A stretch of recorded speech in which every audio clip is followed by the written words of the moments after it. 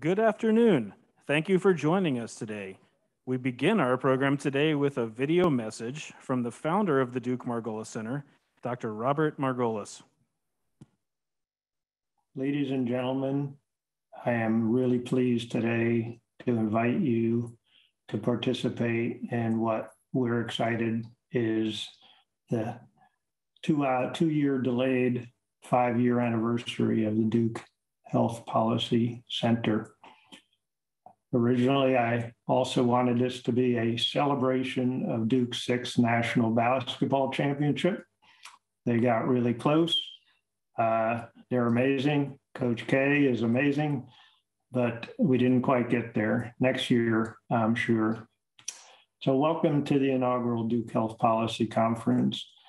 And I'm speaking very confidently, I'm sure, on also on behalf of our director, Mark McClellan, and the entire Duke uh, faculty, uh, researchers, students, staff, and saying we're really thrilled you're joining us today in person and virtually. For this is a wonderful event and an important milestone for our Duke Health Policy Center.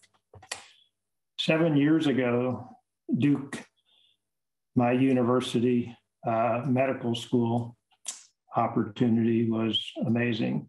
And I've always had this strong affinity to what could be possible at Duke with its amazing clinical Duke Health capabilities and research, and the opportunity as an educational center to introduce generations of students, uh, both graduate and undergraduate, to the opportunities in health policy. So, working with Duke's leadership at the time and continuing, we were able to create a interdepartmental and interschool collaborative health policy center that has, in my view, and I think in the view of some others, exceeded all of our expectations. And we're very excited.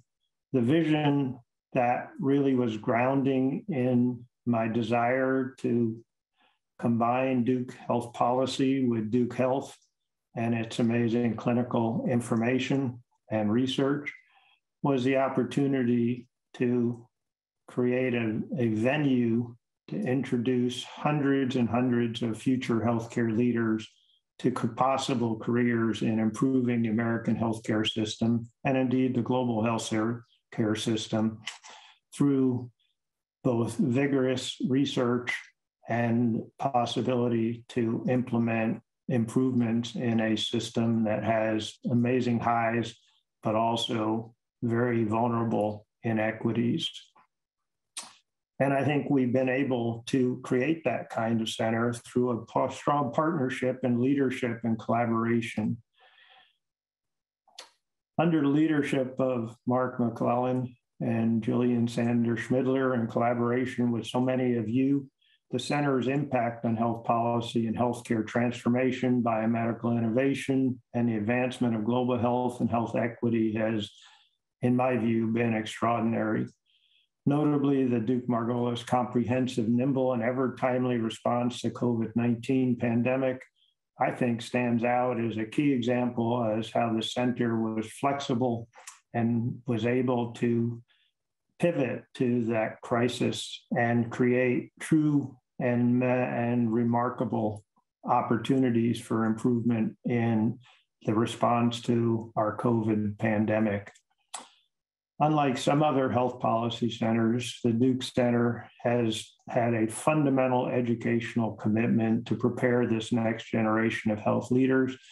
Today, more than 70 of our Duke faculty are associated with the center, and they join the team of 50 more researchers, both in our Durham and DC offices, to engage, educate more than 400 graduate and undergraduate students at Duke.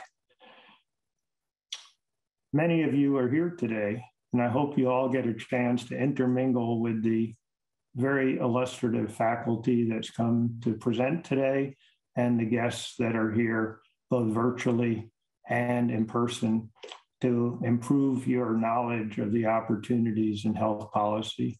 We have an amazing lineup of speakers today, and thank you all for your contributions to the special event. I want to especially thank uh, President Price, Sally Kornbluth, our provost, Mary Klotman, our dean at the medical school, been a wonderful supporter, Dean Ramos, Dean Boulding, for your collaboration with the Duke Health Policy Center. And lastly, I'd like to thank my good friend and colleague who I've known for many decades, Dr. Gene Washington, an enormous leader of Duke Health and a strong supporter of Duke Health Policy. So with that, let me turn the podium over to Gene and to wish you all a very productive and informative conference. And I hope there are many more to come in our future. Thank you so much.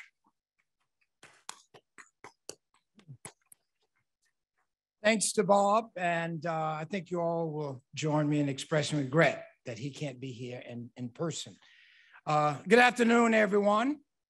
Uh, welcome. It is a great pleasure for me to be joining all of you this afternoon on this very auspicious occasion.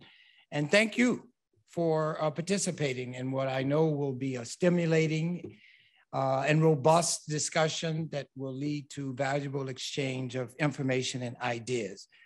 Uh, nearly seven years ago, Bob, Lisa, Provost Kornbluth, and others at Duke had the foresight and sagacity to envision a center that would bridge our academic mission with health policy to have real world impact on advancing health and health equity.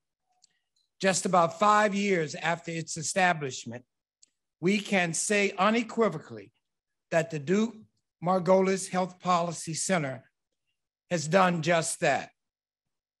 We have just come through a unique time in our history, and now more than ever, we understand the unique role that policy matters play in addressing specific health goals, whether it is in alleviating human suffering, enhancing health and well being, eliminating social and health disparities here and around the world.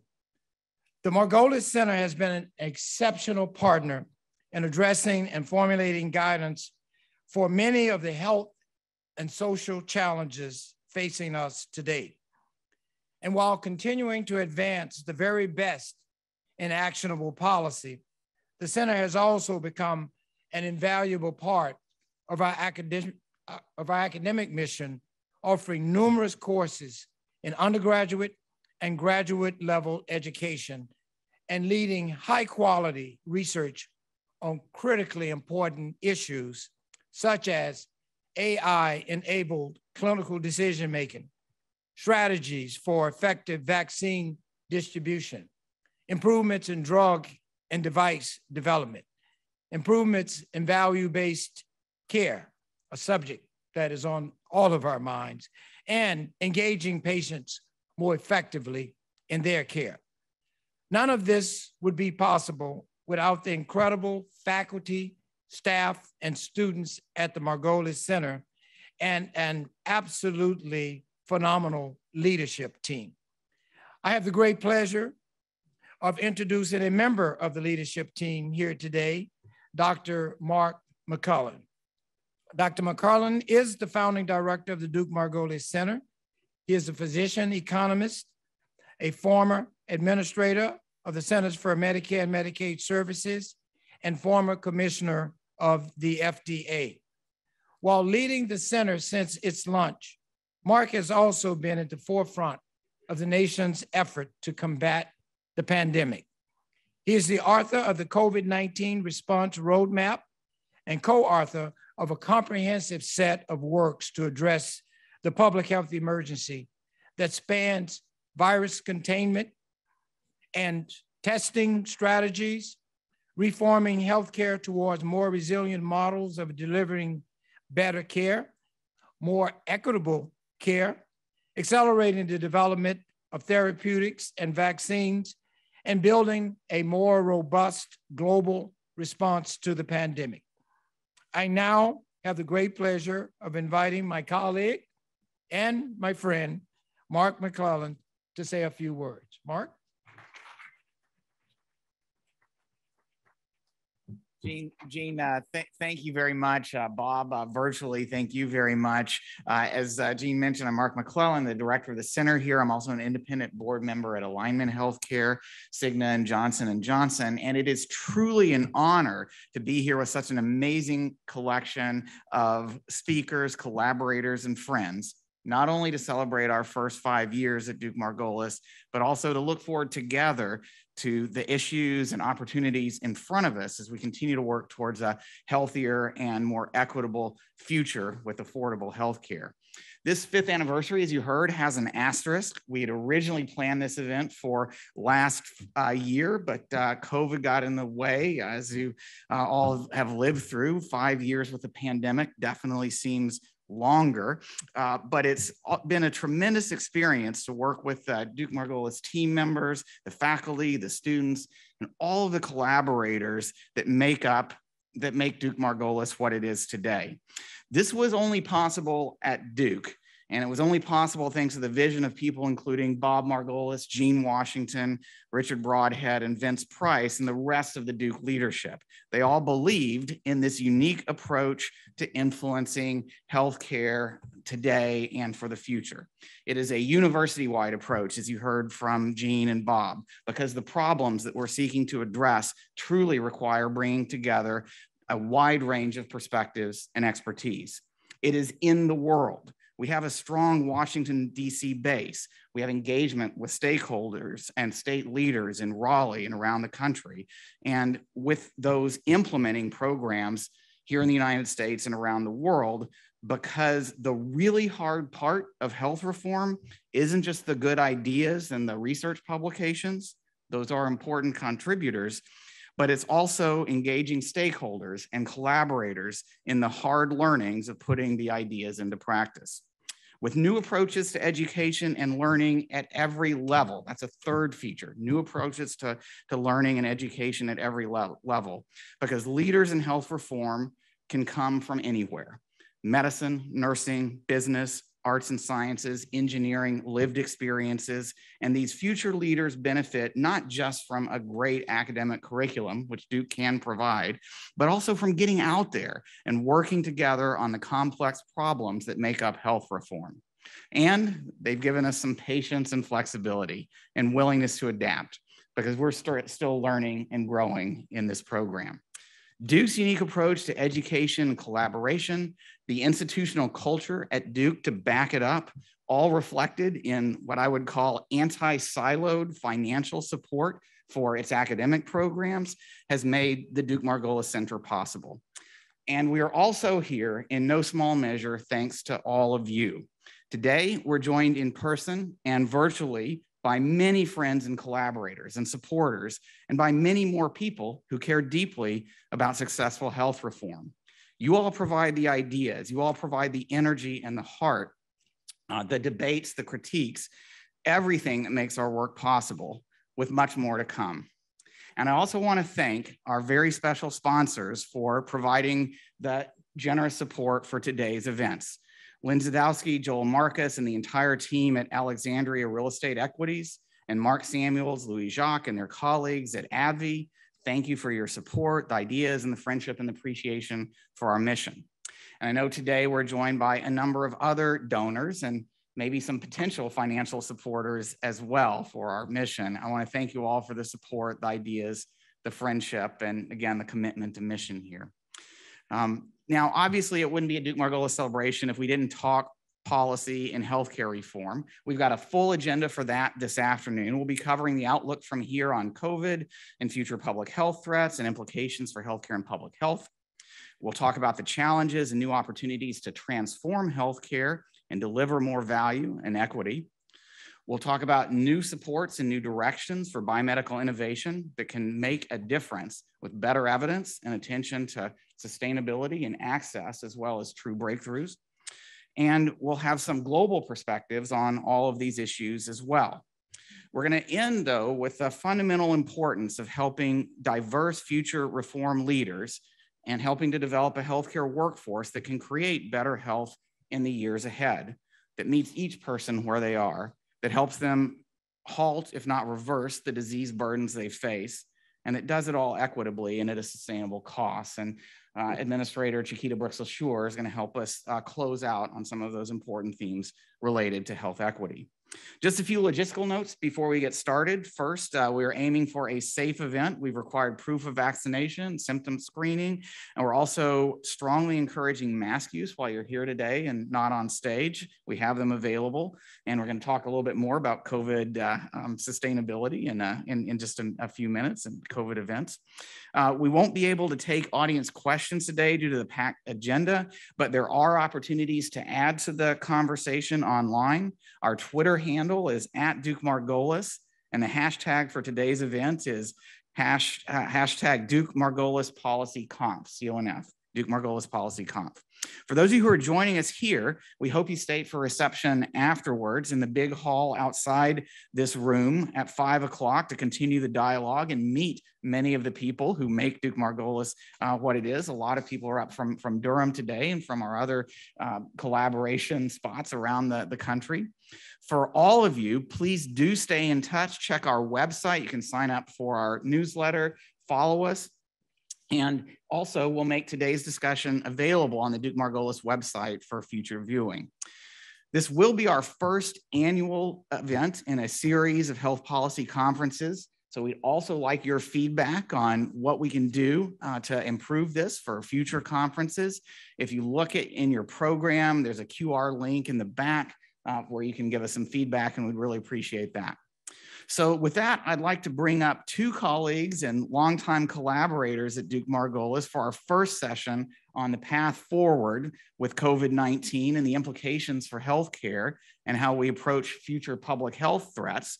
Um, so please uh, uh, come on up. I'd like to welcome Scott Gottlieb, who's Senior Fellow at the American Enterprise Institute, an Independent Director at Pfizer, Andy Slavitt, General Partner at Town Hall Ventures, um, uh, as well as a contributor to a, a range of, of policy issues, including serving as a senior advisor for the White House COVID-19 task force at the beginning of the Biden administration. All of you thanks and uh, figure out your spot and spacing, uh, whatever else you're, you're working on over there. Um, so uh, glad to have you with us. Let's see. I'll. Uh, um, We're trying to socially distance.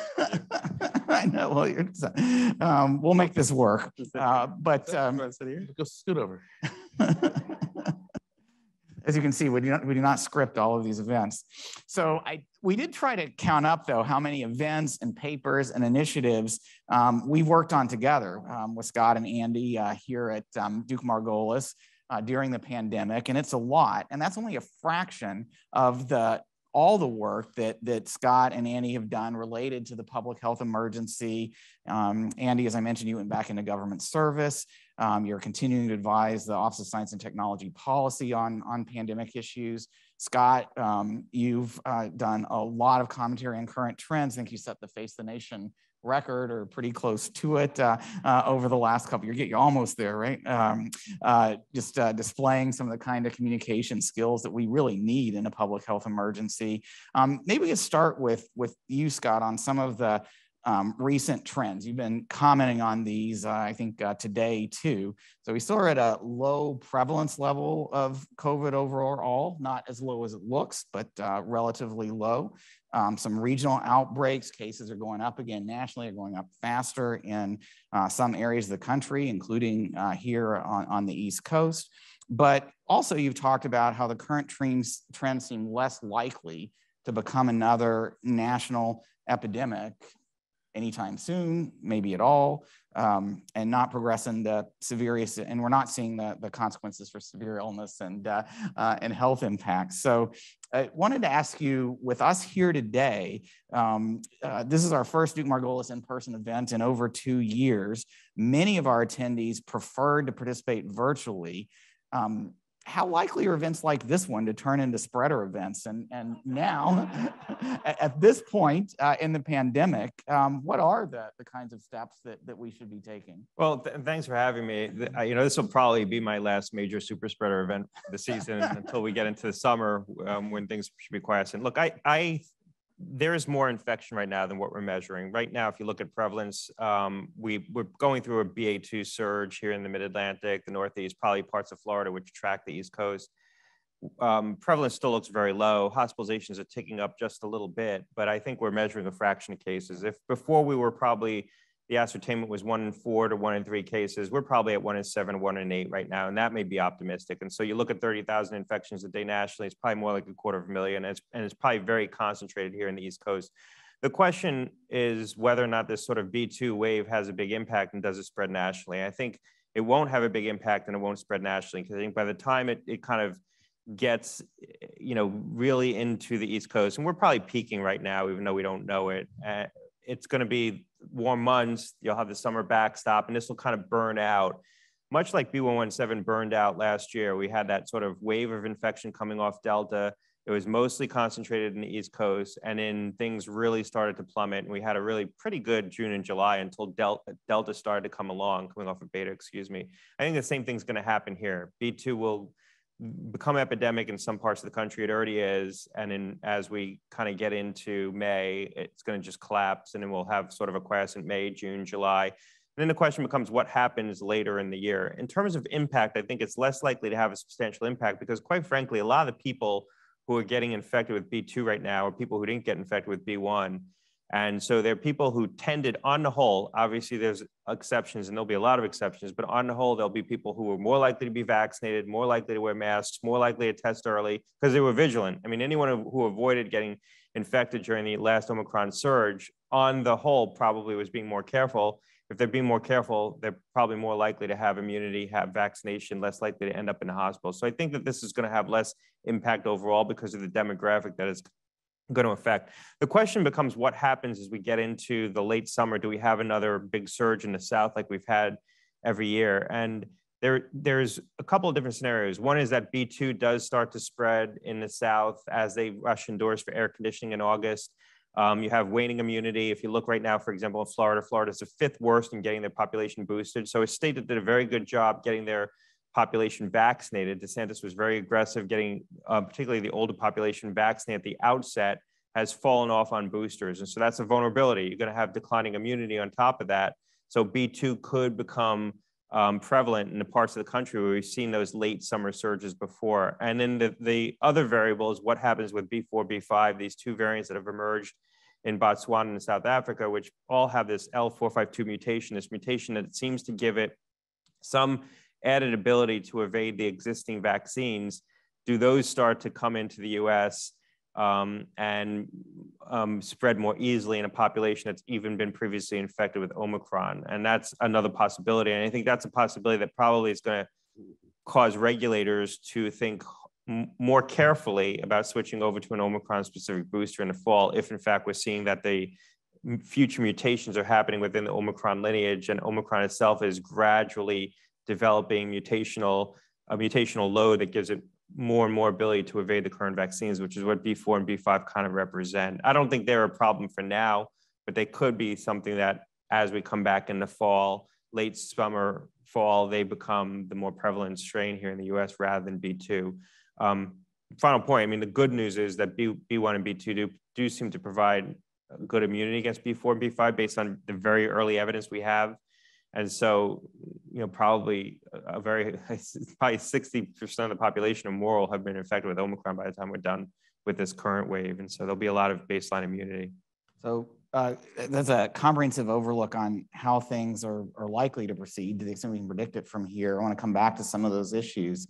Um, it does seem to mean for now, Andy, um, uh, kind of reflected in what some of the administration lead spokespeople, Tony Fauci, um, uh, Ashish Jha, have been saying, which is essentially COVID's going to be with us. Um, it's it's uh, present in the community. We're going to continue to see uh, outbreaks, but the administration seems to be seems to have moved to more of a individual decision basis. So we're not we're not seeing a lot of mass mandates, although Philadelphia just imposed one while telling everyone to please go about their lives, just wear a mask indoors. Um, and maybe related to that, to, you know, today uh, um, I see everybody, uh, most people around the, the room wearing masks. That's what we had encouraged. Uh, we're working with um, uh, here at the Reagan Center where they've done a lot of upgrades in their um, uh, ventilation systems, air circulation, things like that should people be going about their, their normal lives? Is, are we at a point where it's um, uh, up to the individuals, given all the immunity that Scott mentioned, as well as availability of tests? Uh, I know you tested uh, just before this. I tested me last too, night and sent it to Uh, Mark, so if I got COVID, I could blame him. Tests, uh, treatments available, vaccines, and we just talked about uh, some of the boosters that are coming. Yeah, well, first of all, congratulations to you and to the center, Thank you. Bob. Um, Thank you. you guys have become, in a short amount of time, a critical part of the landscape. And if I think if you want to get something done and done well and thoughtfully in healthcare, many people now know to come to Duke Margolis and to come to you and your team. Um, so really, I hope people get to honor that. Uh, look, I was I was talking to David Ho the other day, who said, um, in a in a sense, in the 1919 pandemic, it was over when the public decided it was over, um, and that there were a lot of deaths in that third year, but at the end of the second year, um, the public had just said, you know, kind of we're done, and I think we all know that in this society, there's a certain sense that when the majority feels safe and ready to move on, that sort of decides it for everybody. But we'd be wrong to think of it as over or not over binary. There's some adjusting we need to do to our thinking. Um, the narrative that we had that, you know, initially that I wear a mask to protect you and you wear a mask to protect me, and um, the fact that if you get um, a vaccine, it, pre- it, it prevents me from spreading the, vi- the virus. All those things have not really been fully unlearned by the public. The truth is, um, we are blessed to have many tools today um, that if we use them and, and layer them with our own pre-existing immunity, um, allows most people to be able to be, you know, fairly safe or safe enough um, that it makes sense for people to feel like they, they can go full steam ahead. And so we've moved from um, a mandate to a website. Um, now, the truth is, there's a world in between a mandate and a website, which is, you know, right now the public feels like if if I'm supposed to be wearing a mask, my governor or my restaurant or my mayor will mandate it. And if they don't, that probably means I don't need to wear a mask. And so there is a higher level of communication required to say to people, just because it's not mandated, that's actually why you should be making smarter personal decisions based upon your own circumstances. And so um, we're not good at sending these middle signals. We either send the signal everybody wears or everybody doesn't. We'll have a big decision to make with, with airplanes eh, coming up shortly. And I can assure you that if the government decides not to require masks on airlines anymore, a lot of people won't. And um, a lot of people will, will um, question that. If they decide to wear them, um, then it'll send a strong signal that you should.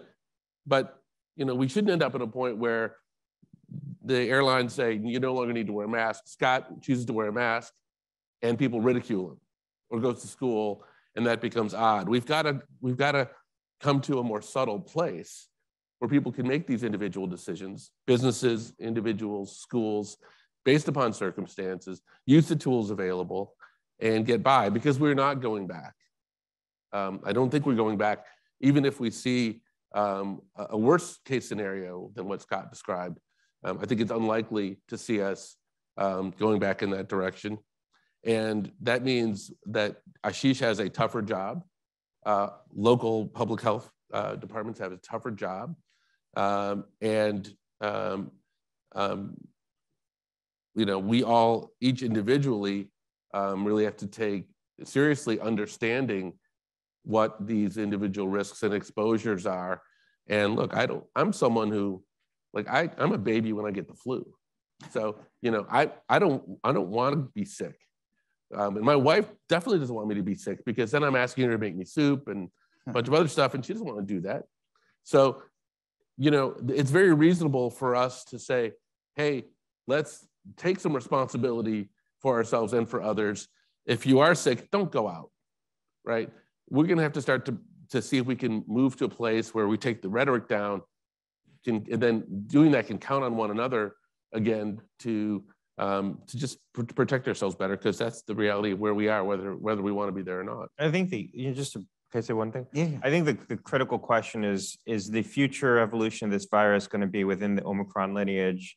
Or are we going to see another episode of divergent evolution like Omicron was, where you get a strain that um, is able to pierce the immunity we've acquired and maybe has a higher case fatality rate? Because after all, Delta was a more virulent um, strain. It, so it actually had evolved to become more virulent when Delta came along. So it is possible that it can evolve in the direction of becoming more virulent. I think the, the sort of base assumption is that the future mutations are going to be within the Omicron lineage, although I thought that the future mutations would be within the Delta lineage until Omicron came along. Um, and the longer that we go on with nothing really divergent coming along, the more likely that scenario becomes. And like, so B4 and B5 may represent an early indication of what that future um, evolution within Omicron is going to look like. If in fact that's the reality, I think everything Andy said is absolutely right. If we have divergent evolution with something that potentially is more virulent and is able to pierce the immunity, um, we're in trouble because we should be going back to the mitigation, but it's going to be very hard to get people to do it. Um, and so that becomes the really difficult scenario, I think. Well, let's talk about that in the in the policy context because Andy and, and you both have laid out a nice path forward for trying to change source, social norms in a reasonable way, bring down the volume of issues that tend to come up in conjunction with mandates and, and, and people just looking differently about what requirements should be that could be a much more challenging situation in the future. We just don't know if those kinds of um, shift um, um, rather than drift variants are, are, going to come along.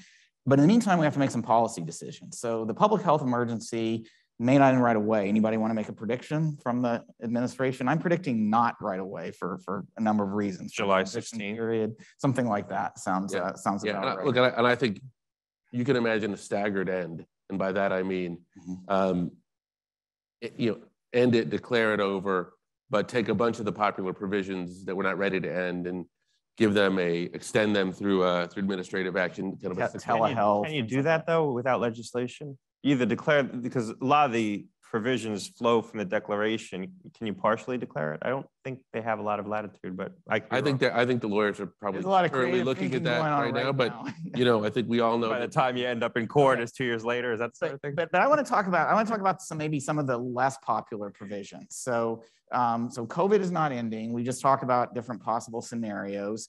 Um, there seems like a clear need for further legislative action to prepare for and, and uh, uh, make sure we're well defended against these potential scenarios. But if you look out at the legislative um, picture right now, there does seem to be a fair amount of consensus in one area, which is that the biomedical progress we've seen leading up to and in the pandemic has been tremendous. So widespread availability of rapid testing, um, availability of effective oral and intravenous therapeutics, keeping our vaccines up to date for Omicron and so forth. There's bipartisan legislation pending in Congress to at least extend that for a while longer. There's the PREVENT Act, that bipartisan legislation supported by um, uh, Chair Murray, Senator Burr, which strengthens, um, aims to strengthen supply chains and make for more robust, more manufacturing, something we've all written about. Um, that all seems good uh, in terms of long-term preparedness. Where there seems to be less or no consensus is what's the future of the federal public health system and state and local support for that? How do we take those kinds of technologies that should make it possible to turn any future surge, like Scott, you were describing, into a manageable um, uh, uh, set of national consequences in terms of limited impact on hospitalizations and severe cases and economic disruption? But without the rest of the picture, it seems like it's going to be hard to do that. Um, any con- does that? What's your assessment of the legislative and policy outlook here, and how do we address those issues while keeping the the the the the, um, uh, the, the conflict level? Yeah, I mean the politics. I think that that there is an underappreciation for how much that the sort of public health community has taken a hit through COVID, right or wrong. There is a perception that they were overly empowered, um, made issued guidance that wasn't well informed, didn't re-adjudicate it in a timely fashion, was sort of doctrinaire. A lot of this flows from CDC. Um, I think a lot of it's fair, some of it's unfair, but it is the pervasive um, perception. And I, and I think in the sort of broader community, a lot of people looking on this and they say this is a right left debate. You know, this is conservatives and Republicans who are shooting at the public health establishment. And I think if, when you look at the polling data, it's actually much broader than that. There is a, a large portion of the public, certainly a majority, who feel that public health agencies um, didn't act responsibly, didn't act in timely fashion, didn't act on good information, didn't issue practical guidance. And so there's And, and the mandates that were issued too. and the mandates that were issued weren't properly titrated. You know, a mask mandate in one setting, maybe don't mandate in another. You're going to mandate vaccination. You know, I, I always felt the sort of employer mandate was a bridge too far and they shouldn't have done that. It was an overreach. And so, you know, it's if any effective policymaking, to, to your point, your sort of um, list of things that Congress has done and, and you kind of intimate what they should do, is predicated, in my view, on empowering public health institutions, resourcing them, empowering them, um, giving public health institutions greater authorities, properly, you know, um, guardrailed.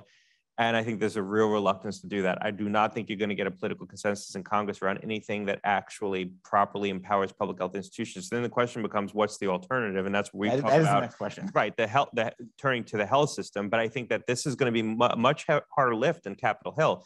Yeah. And it's not just Republicans. This isn't just a right-left divide. So people who dismiss it as that, I think, are are not capturing the true zeitgeist.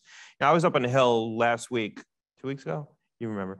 Um, and I was talking to Republican members, and there is no there was no discussion of how to elevate the public health function. It was how to we're going to authorize CDC. CDC is not officially authorized. Its its authorities flow from the mm-hmm. secretary, and we're going to look for ways to constrain it. Now, they don't they're not going to do that because they don't they don't really know how. There's not a lot of people on the Hill who understand the agency And, well and there's enough not consensus on that. And how to do it, but even to go in and do it in the way that Congress legislated FDA's authorities much more clearly, there's no ability to do it. I think it should happen. And I think it should happen in a way that empowers CDC more in certain respects, maybe constrains them in others. It's not going to happen. But to your point, the idea that there's going to be very ambitious policymaking to expand the public health footprint in this country. And the things you talked about were small ball, you know, funding the therapeutics for another six months.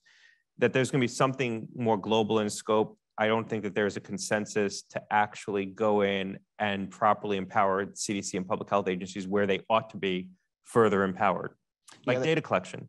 I, I do want to come back to that. I want to come back to the, what this means for the healthcare system as well, where there may be some more consensus or opportunity, we'll see. Um, There is a provision in the, that prevent legislation for, uh, I guess they're calling it a task force, but something to create a, uh, something like a national commission that would enable maybe a, a deeper, longer term look at this, but that doesn't get you to any legislation in the short term. Andy, your thoughts on this? And I would like to talk about the implications Sure, for healthcare. sure.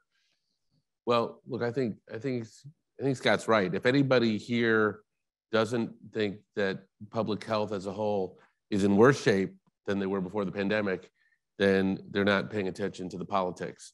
Um, uh, Now, there are a lot of people that will come out of the pandemic and say, if there's not a clarion call for reinvesting in public health, where would be, where would there be?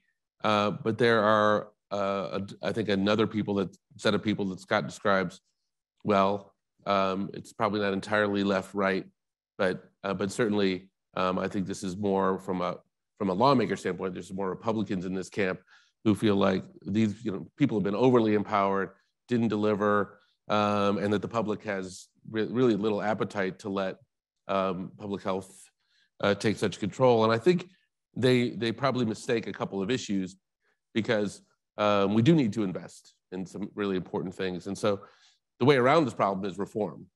Um, the way around this problem is to take a deep, hard look and say, don't fund me in my in my current form, but let me take a deep look at what you should invest in uh, for this country. And um, and you know that that is going to take some time, uh, but I think it's appropriate that there is some of that setback and some of the some of those lessons learned. I will I will say though that the people there are a lot of people working on this that I think do feel like endless funds ought to be flowing to prevent the next pandemic.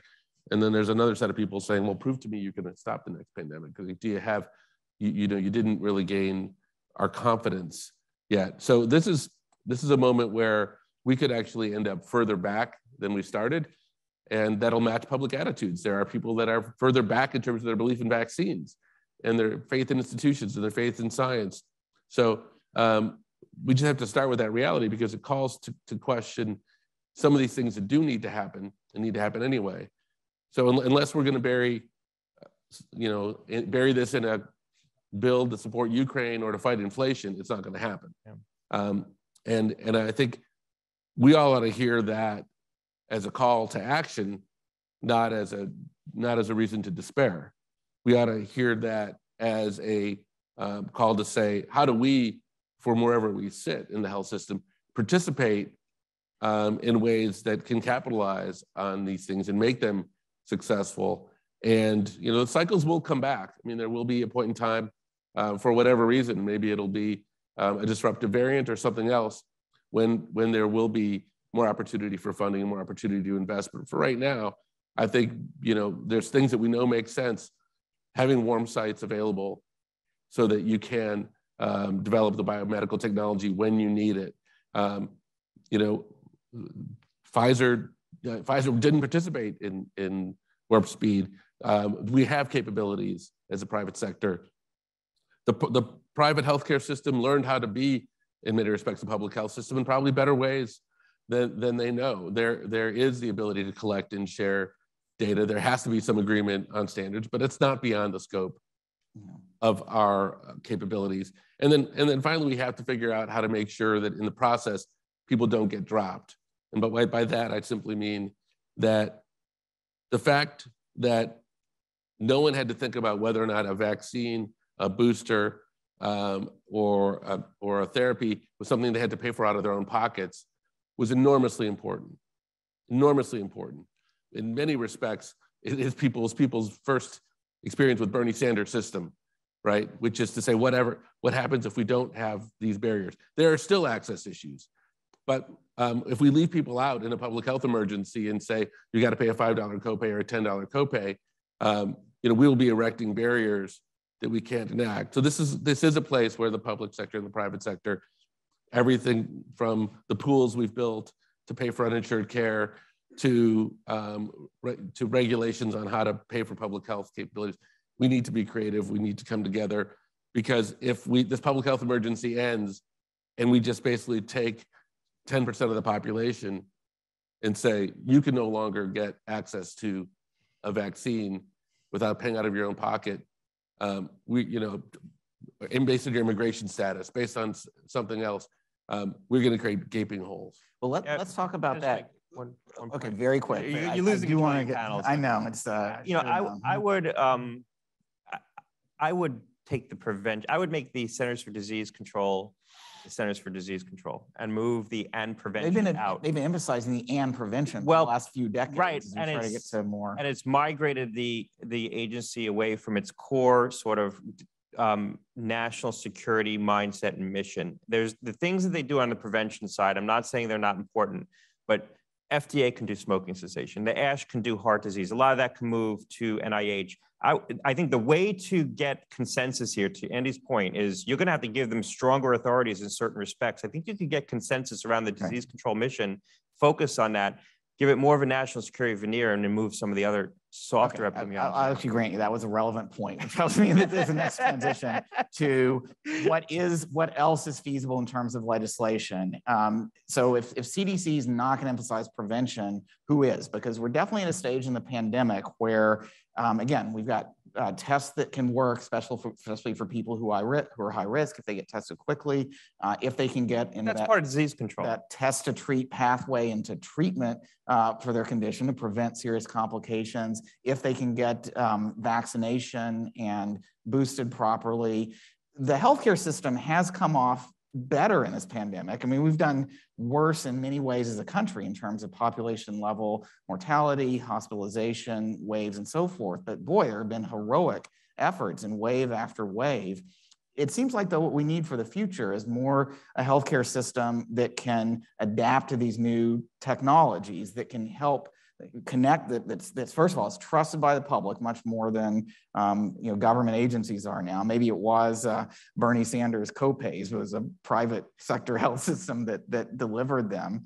And there are examples of test to treat programs, of outreach programs, you know, some of the organizations you work with, Andy, and some that we do at, at Duke Margolis that have done a really good job of identifying their high risk patients, even low income, Medicaid beneficiaries or others, Yeah. uh, and getting them into test to treat, monitoring them, uh, proactively working with public health on, um, on vaccination gaps and things like that. But it certainly isn't systematic. I and mean, we're using only a small fraction of the monoclonal antibodies we have. Uh, Paxlovid has really picked up, picked up, but is still very unevenly used in high-risk individuals around the country. We're not yet at a point where the next surge, if there is one, could be a, a surge in um, treat in, in testing and, and treatment and containment rather than a surge in hospitalization. I feel bad for interrupting. Mark. Yeah, so can No, no, I'd like to talk about why don't I start- legislation and why start, administration then- there, and, and we've only got a few minutes left, so. Uh, uh, so- I only interrupt him. Okay. No, you can rub me anytime. Um, look, I'm actually more worried about the labor crisis than I in, in, in the healthcare system than I am about the medical technology. Um, you know, I think, look, we have probably have, without question, more nurses and doctors today in this country than we will ever have at any point in the future. It may never get 70 to 80% of where we are today. And I don't think we've thought about how to operate the healthcare system as a whole, even without a public health crisis at that, at that level. And um, that, you know, there, there's buried good news in there, probably if we take advantage of it, and that we are going to have to reinvent what gets done in institutions and in hospitals and with high clinical labor content, uh, we're just going to have no choice uh, because the the burnout um, is was was already present. Now it's extraordinary, and um, and not to mention the, the the labor challenges we're going to have across the economy and have have anyway. Um, and then you know hospitals are going to essentially say my labor costs are going up dramatically. Who's going to pay for that? And you know the truth is um, that is a that is going to be an extraordinarily tough question uh, to answer as well. So, you know, the the healthcare systems we have um, are going to be under incredible strain, and uh, there's going to have to be um, some reconciling of how it performs and what we expect of it, and um, what it does at the community and local level. Um, but in the middle of it all, there's some there are some extraordinarily good things happening. Um, I talked the other day to um, the head of the Mount Sinai Long COVID Center, Long COVID Rehab Center. Um, you know, there there is a um, a much stronger theory of the case today and understanding of what's going on with the vagus, the vagus nerve. You may be following some of this, Scott, um, that is driving um, uh, long COVID symptoms and a and there's about a 70% success rate at Mount Sinai for being able to rehabilitate people through lifestyle changes and uh, physical therapy and a few other uh, few other things. Um, as they as they get closer and closer to the cause of the event, that that's going to go up. So we're going to need to expect a bunch of new things, including um, distributing the therapies that we talked about. We're going to have to expect um, the life sciences industry to create more. There's going to have to be more Paxlovids. We know this um, because we have, um, you know, we're going to develop some immunity. We're going to, so there's going to be a constant rush of things to be done. And if we develop the administrative steps and legislative steps to, to advance this enough, I mean, it seems like there is more consensus about these kinds of steps than in some of the public. I, you know, I wonder if it can be done in a way that is, to, to take your earlier question, less focused on supporting public health and more focused on some of the reforms we'd like to see in the healthcare system, along with virtual care, at home care, the kinds of things that are going to address the labor crisis um, that maybe don't expressly focus on public health, but, but focus on the role of our private healthcare system um, in that development. We, we've done it before. I mean, post 9 11, we funded the availability of certain capacities in the healthcare system that we actually piggybacked on during the early days of the pandemic, particularly in, in New York. I mean, there is a sort of conceptual model. Your book talk about how good of a response there was even before. That was that mothballed yeah. because of some post 9/11 planning, but there is a, a model for thinking about how we build capacities into the delivery system to take on some more of these public health functions. And it's going to be easier politically, I think, to achieve that. So like testing surges, Test, treatments. Exactly. Surges, building in the capacities and funding. Making sure high risk people are vaccinated, things right. like that. Rather than funding public health institutions, which isn't optimal in its own right, but I think politically it's going to be easier to achieve. I agree with that.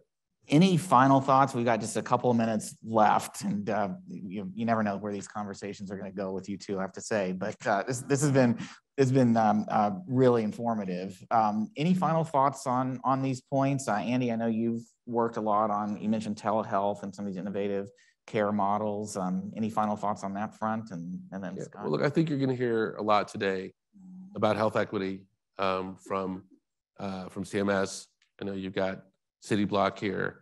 Um, we have people who've been focusing on on those issues, and and I'll go back to where we started, which is the majority decides we move on. There are still tens of millions of people um, at risk because of their job content, because of their family health histories, because of their personal medical situation, because of their age, uh, and then if another variant comes along, there'll be another risk factor or two um, that don't feel quite so safe, and um, who basically work with the public every day and have to rely upon other people's behavior in a way that puts them more at risk. Doesn't describe most of the people here. Most of us, uh, many of us can work from home. Many of us have the have these other options, but we tend to very quickly forget about this group. And I would say, you know, we spent we spent more time than we should ever ever spend again during the AIDS crisis, um, just letting people suffer. Um, so I think there is a there is a lens from thanks to this administration, thanks to some innovative companies, thanks to some other things going on, um, that says we can't just accept that as a status quo. Let me give you one quick story. When we were sending, when we opened up our first federal des- dis- uh, vaccination site, we opened it up in Oakland, California, at the Coliseum, and the first day there, it was packed with people from San Francisco and people who probably never been to the Oakland Coliseum. And we opened up our second center in East LA, and it was packed with people from Beverly Hills who probably never been to East LA before to get their vaccines. And it was a lesson for me in if you really want to address health equity, you have to actually take the extra steps. And it took for us to say, hey, wait a minute, there are going to be times uh, before and after work when only people from the zip code should be able to come in and get vaccinated um, because there are so many structural disadvantages that people face to getting to getting vaccinated. And it, you know, the the the whole crisis sped up all of the inequities that happen in a sort of an extended slow motion way that, that are harder to see, but it sped them up really quickly. So there's a lot we can take advantage of in terms of the, these lessons learned. We can, there are innovative ways to make sure, you know, we're caring for people responsibly and giving them more access. Uh, we can't forget that. Scott, you get the next to last word. Yeah, look, there's been a lot of, um, I'll just go in a little bit different direction. There's been a lot of uh, delivery innovation in this pandemic. And if, if you ask me what I think is the most profound sort of regulatory innovation that led to delivery change, it's the advent of the home test for COVID. If you would have asked me five years ago, would FDA ever allow someone to self-diagnose at home for a infectious, uh, communicable, reportable pathogen and not have to report the results, I would have said, no, no way. Yeah. It's never going to happen. And it, and it happened. And I think it opens up a whole plethora of opportunities now to self-diagnose at home for a range of conditions, strep throat, RSV, flu. I think we can move much more care into the home when you have diagnostics available to consumers and you can couple it with a telehealth visit. But, but ultimately it's going to need to be also be coupled with a definitive test, the ability to send off an overnight test and get a definitive answer when there's an equivocal result on a home test or the symptoms match, but the home test doesn't. The doctor wants that definitive test and doesn't want to have to pull the patient into the office for it. Uh, someone's going to have to pull that together. If we could pull that together, that would be a profound innovation in the care delivery system and probably would like account for 70% of pediatric visits. It's going to take someone like Amazon to do it or some organization like that that has the logistics to deliver all three simultaneously. But that is a real opportunity with COVID, and it's going to become more important in the future to have that kind of a platform because we're going to have to differentiate COVID from RSV from flu in the future. The technology's there to do it, the delivery vehicle isn't. Well, and we're going to come right in this next panel to some of the changes that, that might help, as you all both referenced, in the healthcare system to help get there. So that a good segue? thanks for a great uh, discussion and for, for eliminating my need for a segue. Great, uh, great to be here with you all. Um, and so with that, I want to end this panel and also uh, bring up Peter Orszag, Chief Executive Officer of Financial Advisory at Lazard.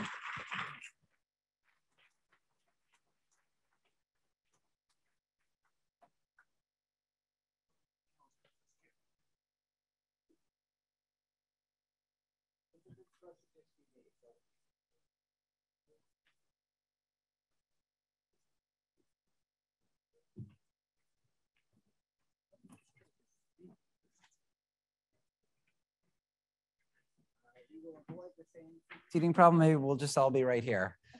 Yeah. Thank you. Well, welcome everyone. Uh, and thank you to uh, Mark for getting us off to such a strong start. I also want to uh, join others in commending Duke and Mark himself for uh, the success of the center. And it's great to be here. We have a star-studded panel and a lot to talk about. Um, Liz, maybe we'll start with you, um, just given that you're the government official on the panel. Um, and let's talk about value-based care. I, I am a little bit worried that, uh, you know, the saying, after all that has been said and done, more has been said than done, uh, applies to value-based care because it's sort of been the buzzword for a long time and progress seems painfully slow. So give us some hope. What is going to happen under the Biden administration that's going to make this all come to life much more forcefully than perhaps it, it has to date? Well, we have been really trying to rev up the engine and reignite that sort of sense of inevitability that we're moving in this direction. I, will say I agree that it has been painfully slow. It does feel like we are in a marathon and not a sprint um, after 10 or 12 years. I think um, maybe we haven't made as much progress as we can or should, but I think there's still hope there. We believe very strongly that there is benefit for patients in moving in this direction. Now, Peter, harkening back to your days in the administration when we worked together, I thought for sure you were going to say we need to move in the direction of mandatory um, We're getting to that. Okay, all right. He's warming up. Okay, Yeah. all right. Getting Um, it slowly. Well, I say, you know, one thing that we have been trying to do is send a, a very clear signal and direction for where we're going. Um, I think what we can do is, um, with those sort of signals, is when people know where the puck is going, they can help meet us there. And I think, um, so that's what we tried to do with the strategy that we put out uh, last October, um, that we really want everyone in Medicare and the vast majority of Medicaid beneficiaries to be um, in an accountable care arrangement. We want to address health equity and we want to do it together with um, other payers in the system. So clear direction, commitment, and sort of reigniting that enthusiasm is, is what we've been trying to do in the time that I've been on board. So for those who are kind of in the doubting camp, let's talk about some of the things where maybe the progress has been more painful. How should people interpret, for example, uh, the letting up on the gas pedal with regard to uh, the radiation oncology um, pilot and other measures where it seems like we're not necessarily moving as rapidly as some people had hoped? Well, I think we need to be smart about the direction we head. Um, and I think, again, that gets back to the clear signaling um, and I keep expecting you to talk about mandatory models. So radiation oncology was a good model. It is a good model. It brings us in the right direction. It was a mandatory model. Uh, we ended up with, you know, legislation pushing back. I think we also end up with, um, you know, in some cases litigation. Uh, for example, the most favored nation um, previous administration approach. So we want to be smart in the direction we go. We want to collaborate with stakeholders to make sure that where we're heading is um, in a direction where there's going to be support and and I believe um, I believe we can get there and I believe we can keep pushing and I believe we can put the foot back on the gas just in a different, smarter way. So, oh, so one other question, question, and I see Dan wants to get into, which is great, but just what else can we do to make fee for service less comfortable? It, it seems like it's, you know, there is a sort of tragedy of the commons here where everyone talks about trying to move forward, but it is very difficult to make progress and it's just a little too easy to stay where we are where there's such dispersed interests across different parts of the health system. So is there anything we can do? I, I, mark had mentioned one idea about trying to um, widen the gap in 2025 and thereafter between uh, the mips the different pathways that uh, exist and sort of uh, accentuate the incentive to jump over to the advanced payment models any ideas on what we can do to just try to shove the system a little bit more forcefully? I'm actually surprised that you're you're being so pessimistic about what has happened in Medicare over the last 15, 20 years. I mean, it kind of takes me back to when I was running OMB Health, and we had about 7% of Medicare beneficiaries in Medicare Advantage, and now we're at 45, and it's a value-based payment model where you can't make money unless you have you know strong star ratings and the star ratings are all the things that we hope to accomplish maybe not all of them but we're kind of moving in that direction. And so you know it's it's it's funny like yes some of these models have not turned out the way that we've wanted them to but i see pretty significant change in medicare over the last 15 20 years a lot of it due to what liz and others have been you know kind of slugging at over that time. And it's serving as a precedent to things that we are now starting to drive into the uh, into the private sector. So I think maybe I'm a little less pessimistic, which is why. Okay, that's good. It's good know. not to be all depressed in a, That's in a okay. meeting like this. You're an But, economist. but, though, but I would note, I mean, the thing that's fascinating about Medicare Advantage is, don't forget, and I still have the scars from. and Liz remembers as well from the ACA debate, where it was predicted that we were going to crush Medicare Advantage uh, and have uh, enrollment decline because of the uh, payment reductions, Right. and instead it's it's boom. So that was a that was not an intentional policy change. It was a Well, there's still a financial benefit for plans. for- yeah. for So let's talk about risk adjustment. Okay. Yeah, Uh, even beyond, even beyond risk adjustment, they're still getting paid more than traditional fee for service, so they have an advantage to traditional fee for service. I want to say from, you know, from my perspective, a, a couple thoughts. First is a big thank you to Mark and Duke. Um, they are terrific partners. You guys are having huge impact in DC and in the federal policy realm. We couldn't be doing the work we're doing without you, so a huge thank, thank you there. Um, the first thing I want to say is, you know, fundamentally from the perspective of people, of consumers, of families, of patients, um, the system's not working. And I think everybody in the audience knows it, period. We have a crisis right now. The number one reason that American families are in debt is because of medical care, despite the fact we're spending three or four times more than the rest of the world to give them that care, right? We also know that the care is far too complex, it's too fragmented, and it's hard to access. Um, our outcomes far, in many cases, are far uh, behind other nations, right? So we have a real problem. And I think this is fundamentally the tension between the policymakers there is this very esoteric, deep, complex conversation happening on the policy level, but families are really suffering and feeling this. And uh, on the Hill and in the White House, they're trying to figure out how do we bridge that gap, the reality people are living with the work the policymakers are doing.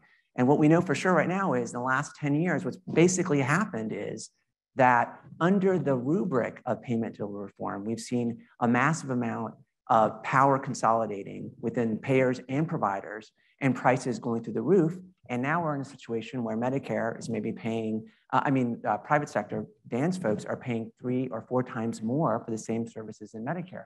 That's totally unsustainable. That means we don't get to retire when we want to. That means we don't get to live in the houses we want to. It means we can't send our kids to schools we want to.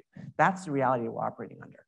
And I think, Peter, you asked the question just right, which is, well, how do we disrupt this? How do we make it less comfortable? And I think part of that is acknowledging that we have an entire US healthcare sector, which is now a fifth of our economy, that is built on fee for service economics. Those economics make money by doing more and focusing on high margin procedures. That isn't good for people, mm-hmm. period. Um, and, and so one of the things we have to do is make it uncomfortable. And obviously creating a delta between what you can make under traditional fee for service and APMs is a really, really important way to do that. Um, we've been recommending it. I've been part of different efforts um, recommending that for the last 12 years. Um, but there's something else. And I would say, and what we really have to think about is disruption. How do we disrupt the, the current business case in healthcare um, to align interest with what we need as people? And one of the things I think that is, is often not discussed enough is unveiling the conflict, unveiling the ways in which the system is failing people. Um, and that has to start with data interoperability and making data available for people to report on the poor outcomes, the high cost. I mean, do you, how many of you know whether or not the hospital that's in your community has raised their prices by 200% in the last two years? Many of you live in those communities, but you don't know it, right? That's an, that's an example of the kind of disruption. People need to get outraged about what's happening behind the curtain. Um, and that isn't happening. So that, that would be another place to go. Right. So let's talk about disruption in a second. But I, again, just to maybe balance the discussion, I'm kind of curious. Um, do you all, behind your, uh, uh, some of your comments was a concern that in, in some sense we haven't not, not only not made progress, but maybe things have actually gotten worse. And so let me just ask the question, in terms of the trade-off between cost and quality in the US healthcare system, is it better today? Let me ask all three of you, better today or better 15 years ago? Has it gotten worse, better, or stayed the same? Well, from a coverage perspective, there's a lot more people with coverage thanks to the Affordable Care Act. I think we've seen, um, what, 20 million more people with coverage. Whether that translates to access and whether it translates to affordability is, And I think, health. another question. And better health, I think, is another question. Um, I think we are better off in many respects. I have to say, after taking a, a break from the sort of um, public government role, coming back, there's a lot of new players and a lot of consolidation that's happened and just still trying to understand the landscape of what's changed and whether it's better or whether it's not better, I think is, is a complicated question. I don't think there's an obvious answer. Um, I, I would say that you can point to bright spots where things are better, um, but they're they're very they're sort of surgically in there. And you know, for example, our readmission rates are down and things like that. However, ultimately, I think that we have to acknowledge the notion that um, we are spending far too much on healthcare. Um, the delta between public payers and private payers has grown very, very wide. That's incredibly dangerous, both for access for people who rely on Medicare or Medicaid, as well as for employers who are trying to um, bear the burden of, this, of that cost shift. So I think that um, in that way, things are much worse. But I also want to say this, this isn't about a trade-off between cost and quality. It isn't. Fee-for-service economics um, you know, for those of us who've sat in the seats where, from the federal perspective, you work in the Senate or wherever, and you have the sector come in and lobby you, or I used to work with governors, and they come in and lobby governors or state capitals, right? Um, there's always just, the message is very clear. One, all we want to do is take care of our patients. Two, you got to pay us more, and you got to get out of our way. That's the constant drumbeat. Now, when you get behind the curtain, what you find out is, um, despite whether or not they want to do what's best for their patients. They are responding to fee for service economics. Those economics say, do more of what makes us money, do less of what makes us less money. That is not good for us, for patients. What's good for us? More primary care, more behavioral health, more access to, to care that addresses social determinants of health. That's what we know is actually going to, to, move the needle. And so this isn't a question of can we spend less um, without sacrificing quality. It's how do we spend less and actually get better quality and better outcomes? And I think that's where we are at, at families, trying to trying to thread that needle. And I'd say um, so agreeing that there are some elements that are better and some elements that are worse uh, relative to 20 years ago. I I want to just say how congruent I am with how Fred is thinking about the diagnosis of the problem uh, with respect to high expense lack of sensitivity to outcome, problems with the fee-for-service model. And the question you know, that we're grappling with at Morgan Health right now is how do you motivate action in the employer sector? And look, you know, a lot of the issues uh, with social determinants of health, food insecurity, um, poor outcomes, uh, the lack of strong providers in certain neighborhoods um, are as prevalent in the employer markets as they are in Medicare and Medicaid. Uh, and I think we often forget that, but the literature shows it really clearly. And so, you know, we kind of start from the fact that you have people working in Fortune 100 companies right now who can't put food on the table and are suffering, you know, health issues as a result of that. And so, you know, the, the question then becomes, and I think kind of core to your question about mandatory models or kind of how do you get more change faster, which we all want. Um, you know, one of the things that, that I find very heartening is that you do see models that are based on Medicare and Medicaid starting to come into the private sector. Uh, you see a lot of innovative companies, companies like Vera that we invested in, um, that we are where we're working very hard to accelerate their progress. Um, companies like Eden, Firefly, Centivo, you know, these companies are basically coming in and saying, we have to disrupt the current model because we cannot be complacent with the status quo. And our strategy is go in, find these companies, find good companies, fund them, expedite their progress, and move them along. Because, you know, again, 150 million people in the commercial sector and employer sponsored insurance. Where is the federal uh, policy agenda around ESI? It does not exist because we focus on Medicare and Medicaid because that's where the levers are.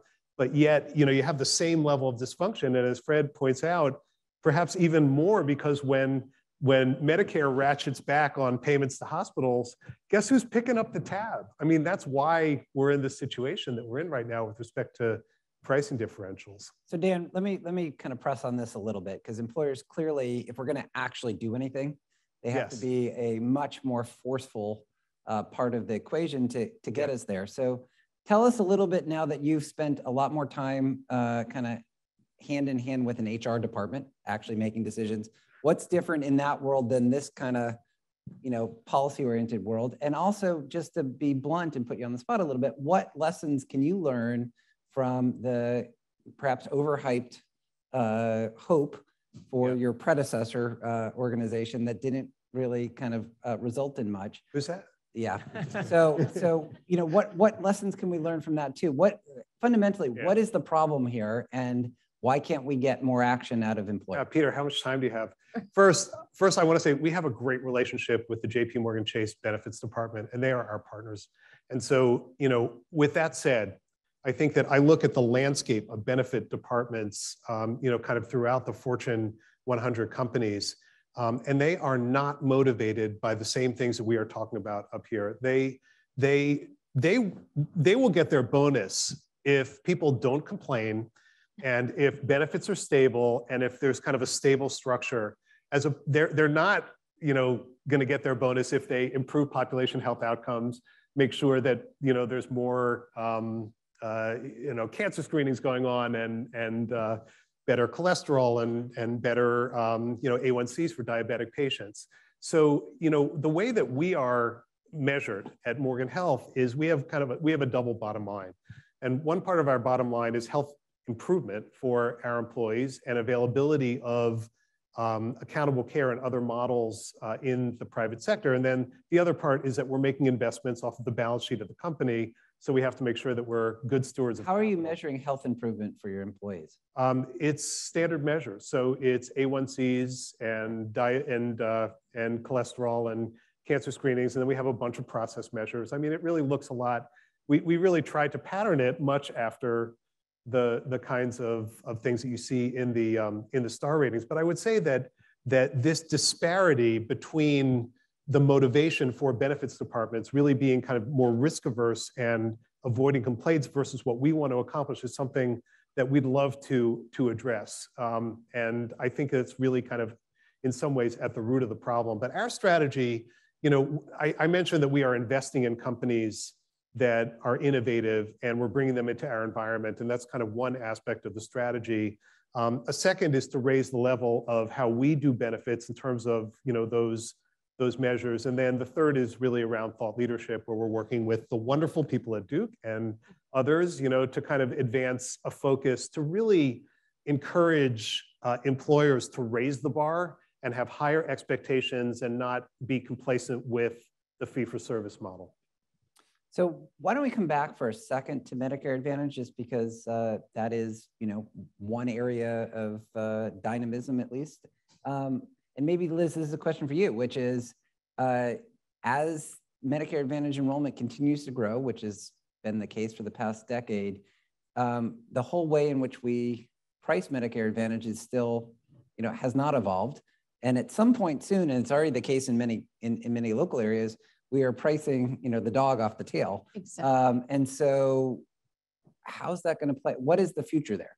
Yeah, you, that analogy is what we talk about behind the scenes as well, the tail wagging the dog, um, especially in regions or areas where, or markets where um, Medicare Advantage is a huge um, majority of the population enrolled. I think we need to revisit um, the payment scheme. I think uh, this is, there, there's not that much that CMS can do on its own. We really need legislation and smart and thoughtful legislation. And I think First of all, and going back to the sort of strategy that we have laid out, we're not assuming that Medicare Advantage is offering accountable care to everyone. They may still be paying fee for service um, and not changing the landscape. So we're not going to assume that it's it's all better just because you're in a capitated plan. We'd like to see those better outcomes and and better patient um, um, patient health coming out of, of Medicare Advantage. In many cases, that might be the case, not in all cases. Um, in terms of the payment methods, we're I think that's why the what we're trying to do in in our ACO models and what we're trying to do in Medicare shared savings that is the only place in fee for service where there might be the chance for a level playing field, um, where there might be a chance for additional benefits. I mean, why do people go into Medicare Advantage? There's extra benefits, there's lower premiums. Um, they can, you know, use the, the savings that they've generated and reinvest them. We want to look to do the same sort of thing in um, our ACO models, like ACO REACH, where there are the uh, chances of giving extra benefits for patients. Uh, we have an ACO um, offering um, dental benefits. We have an ACO that's looking at, um, um, you know, food as medicine and, and helping with nutrition and some of the social needs. That's the sort of innovation we want to see on the traditional fee for service side. And the only way we're going to see that, I think, is in these ACO models, which is why we're saying that everybody needs to be in one of these models and there should be a level playing field and Congress should come in and. You know, I find this, I find this really interesting though, because like, what is the tail and what is the dog? Mm-hmm. And when, again, 20 years ago, when it was 7% Medicare Advantage, now we're at 45, we're growing by 8% a year. In, in some markets, they're more, you know, in fact, in most urban markets right now, I think it's fair to say that there's more people in Medicare Advantage than there is. Medicare Advantage is the dog and fee for service is the tail. And everything that we wanted, or the, I would say everything that the Congress wanted in an accountable model, and it's full risk accountable care with quality metrics, is in Medicare Advantage. So I think it's just going to continue to grow. It's going to become the dominant portion of the Medicare system. Uh, and then it's then the question is, what do we want it to be, and controlling it in a way that makes more sense than what we have now. Right? Well, you know, it, what's interesting about this too is there's a similar dynamic in Medicaid, where we've seen more and more patients move from uh, a traditional Medicaid approach to a, a Medicaid managed care plan, um, and we have a real problem here, which is first of all, as Liz was saying, uh, any panel you're on with Medicare Advantage, what they say is we're capitated, so we are payment reform, and what we know is underneath that we've got nothing but fee for service in most instances. One, two, then there, there's this touting of all the benefits to, to, to folks who enrolled in, in Medicare Advantage. Um, and it's, uh, but what we know is they're getting about 103% off the top of traditional fee for service. They're using that to advertise these extra benefits. And that's why people are enrolling in MA because it's like, I can get eyeglasses, I can get dental, a very limited dental benefit, right? I don't have to pay that extra, um, the, my, Medigap uh, premium, et cetera, et cetera. It isn't for the reasons that they're saying, right? Um, but I remember when I was working with governors on the Medicaid side on reforming uh, payment reform on Medicaid, not one, not two, but several Medicaid Advantage plans came to me and said, I want to tell you honestly what's going on. We get a percentage of the pie. That is how we get paid. And if our business strategy is to make that pie shrink year over year or the growth rate shrink year over year, that's a terrible business strategy. We're not interested in doing that. And I honestly believe if you look at what's happened with your TPAs on employer sponsored coverage, it's unforgivable. You have an intermediary that's supposed to be creating your networks and negotiating your prices, and they're negotiating you into 304% of Medicare. That's nuts, right? So we do have a problem where the business model of the payers is also distorted and not in the interests of all of us who are just trying to be healthy and not go bankrupt doing it, right? So maybe it would be unfair to ask Liz because I think it would put her in a bad position, but let me ask the other two of you. so let's hypothetically say that in November, uh, at least one of the houses, if not both, flip Republican. Um, is this an area where you might see some legislative activity to kind of uh, dial back? No, not dial back necessarily, but um, again, because Medicare Advantage was not fundamentally designed at the get-go, to be the majority of uh, Medicare coverage, there are changes that presumably you'd want to do. Is this something that you might see a uh, Biden administration, you can cover your ears, uh, reach some kind of deal with Republicans on in an otherwise barren legislative landscape? I'm going to give the bear case. Are you going to give the bull case? What? I can give both. Yeah. Okay. You're going to give both. Yeah. Both cases. Oh, come on. Yeah. Both. Well, here's Let's what I would choose say. one, Fred. Yeah. Well, here's here's what I would say. First of all, on the we one got to be really clear about something. We know uh, and Families USA takes this very seriously. Health is not a partisan issue. Everybody wants this. Everybody wants to spend less money and be able to live a healthy life, period. And for us, this is not about Democrats versus Republicans, period. Okay. Um, but we do know when Republicans had the, both chambers and the White House, they put forward a plan. And their plan is very, very easy to understand, which is healthcare costs are out of control. We're done. We are going to offload risk to the states and to people. They need to figure this out. That was repeal repeal. There was never really replaced, but repeal, right? That is their plan. That is Republican leadership's plan. I think that when they are, if they are in control again, you're going to see more of that. However, there is a really deep political need that has to be met, which is this is always a number two or three issue for American voters, and they vote on healthcare. They really do. So there is an instinct on the Hill. We need to do something, and we need to be able to respond as political pressure. And we at families and other folks like us have very good relationships with Republican offices, not necessarily leadership, because I think leadership's approach is very blunt, but there are many members who are very conservative. And I'll tell you what gets them madder than anything is this is not competition. If it's drug prices where you know pharma is taking their government granted monopoly to set a price and then see how you know how far can they go. Right right? I'm going to give a very different answer to this question. Okay. Okay. Or if it's if it's hospitals that are just abusing their market power to, to negotiate an out of control price, yeah. people get upset about that. And I do think, for example, our no surprises legislation that we passed a couple years ago to finally outlaw the practice of surprise medical bills, um, mostly in most instances, um, to try to create more data transparency. That was utterly bipartisan. That came out of the help committee with both sides of the aisle engaged. I think these kinds of fairness fights um, that are less uh, pointed, we can make some real progress on. And now for a different view. So agreeing, yeah. so agreeing completely with the premise of the importance of the issue, um, I'm very pessimistic that there's going to be any fundamental legislation uh, in this area. And frankly, this is one of the reasons why I'm working in the private sector right now to try to address some of these issues, because we can't afford to wait. You know, and and I'd say that you know, look on on Medicare Advantage, there are a lot of puts and takes here. Um, I actually believe that it is a concerted strategy to grow Medicare Advantage. Uh, so it isn't just some accident or something that happened. I think that, that that is really where the more fundamental reform of the system has been coming from. It is where it will continue to come from. And then it's incumbent on, on the Congress ultimately to make kind of changes around the edges to, because changes around the edges definitely can happen in concert with CMS you know, to kind of bring things a little bit more into line over time. Um, but you know, I think that that with respect to some of these more fundamental problems, and in particular, introducing some of these accountable care models into the private sector, that that needs to the push needs to come from employers. I agree. It's just not not going to happen, uh, you know, from the Congress, and it's not like they're you know someone's going to wake up and say, here's the agenda in employer sponsored insurance. It's ERISA. It's like, you know, try to crack that nut. Forget about it. Well, I'm not going to answer your question on what's the Biden administration going to go do under a Republican Congress, but I will say there's probably more agreement out there than maybe we realize if we focus on the issues that really need to be fixed. I mean, look at MACRA was bipartisan. There are pockets of opportunities um, where, like like Frederick said, if it's a matter of competition, fairness, prices, and and people are bringing forward um, real problems and there's a solution to them, I think you can get bipartisan support. So I don't want to be a pessimist on, on that front. Whether they fix Medicare Advantage, I think is an entirely different question. Yeah.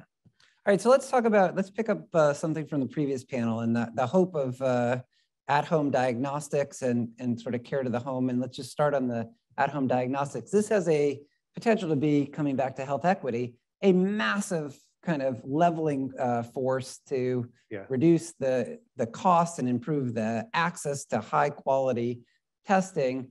But it could also go the other way. I don't know. I mean, I travel around with my little Cue test and, you know, people have Lucira tests uh, stockpiled in their in their uh, closets. I don't know that that is, you know, the norm. So how do you see a this uh, technological uh, shift uh, affecting, let's start with the employer sponsored world.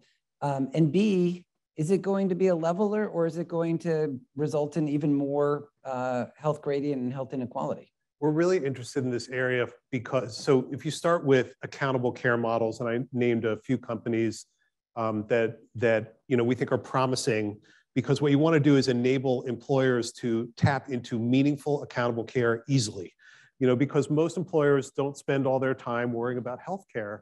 They have to have an option that's on the table that's kind of readily available. And so if you think about Vera, Firefly, Eden, Centivo, other companies in that space, um, that's kind of one level of it. And then kind of the, the second element of our strategy is to invest in tools and technologies that enable accountable care. So that might be care navigation. It might be um, kind of integrated technology that, that enables at-home visits. And lab is, is a great area because um, the fact is if, if the employer, the employ, employers today pay a lot for lab services because there is an effective monopoly on those services, just to be blunt about it. And to have disruption come in and say, all right, you know, you can do an at-home test paired with a nurse visit for these kind of routine interactions, if we can capture a volume reduction associated with that um, and build that into an accountable model where there's kind of cost quality um, accountability, that's very positive. And so we've run the economics on that and we're ready to invest in companies that do bring those, those tools into the home. So what Scott was talking about, um, I am a complete believer that if it's structured properly, that it can reduce costs. Now, if you try to introduce this into the federal context, right. I have no confidence that it would save any money. But yet, if we're operating in the context of full risk accountable care, I'll, I'll have it any day. I guess that would be the point I would make is that's why total cost of care and this sort of accountable model is so important. Otherwise, you do have the volume and the and the trajectory where it's just an incentive to do more and pay for more. And um, whether it's necessary or not, whether it's um, leads to better outcomes or not, that's why you really need to think about it in this sort of we want to see the better outcomes, but we want also this responsibility for um, total cost of care. I, that's exactly what I was going with Liz. Like, Dan, the vision that you're painting is a beautiful vision. and I am not there one bit because we learned this lesson the last 10 years. We put out these models.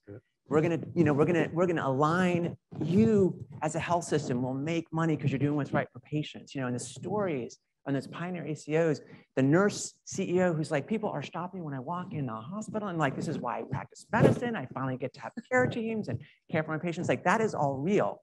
But let's not get confused. Our healthcare system almost exclusively is driven by fee for service economics.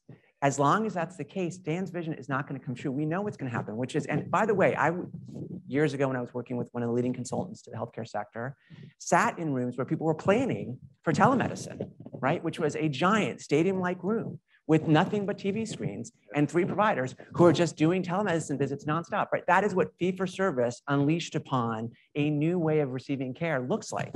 So I think we got to ask ourselves, what are the economic incentives underneath this, the reforms in home mm -hmm. testing and home care that are going to drive behavior and not expect the sector to do what's right when it's not in their economic. So I'll tell you, economic, economic incentive, we pay about $2 billion a year for healthcare for our employees and dependents in the US, okay? And I know what we pay for lab services. And I also know, by the way, what we pay even for wellness, kind of there's an annual wellness check. I know what we pay there.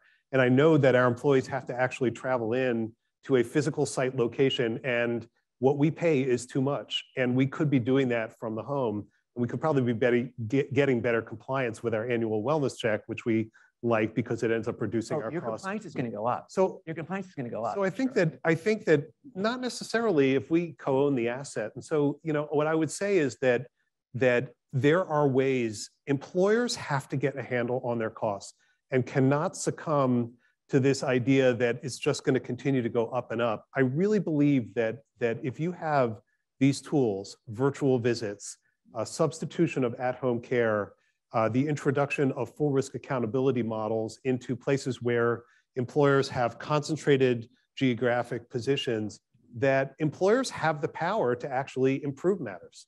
Well, I just want to say, to, I just want to, there's one point Liz was making that is so important. I just want to underscore it, which is um, the thing that's most troubling lately for us at families is that there's been such a misunderstanding about what these APMs are and what we're trying to do.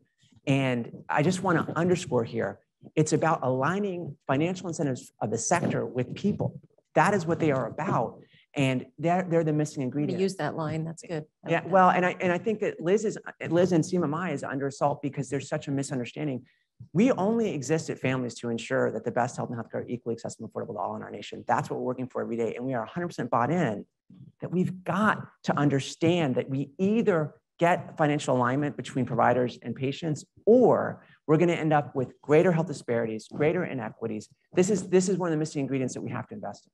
So just to just to ask, because this is you know the the retort that you get is all that value-based care models are doing is they're changing, uh, in, in some sense, the gatekeeper from the insurance company that denies coverage to the provider who's at risk to say no.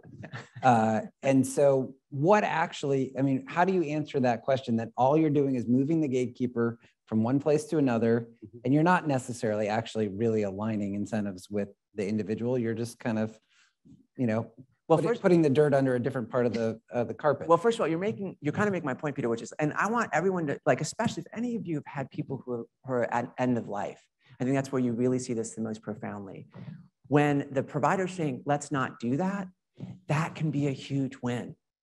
That can be a huge win. The amount of very expensive drugs that we're pumping into people, the amount of pain and amount of suffering that we're seeing because of fee-for-service economics on people is real. And so the question isn't, why can't we do more? The question is, what should we be doing to give you the best quality of life possible and give you the best health possible? So that, that no is not always a bad thing, and it's not always not in the interest of the patients.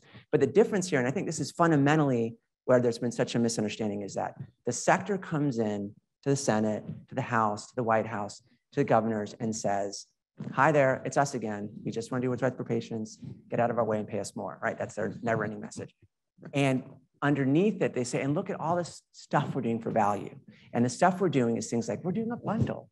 We're now doing a bundle. Isn't that great? We're saving Medicare money. But by the way, the billboards went up in our in, in our town. And now we're trying to get as many knee replacements as we can, right? We're dialing up volume somewhere else.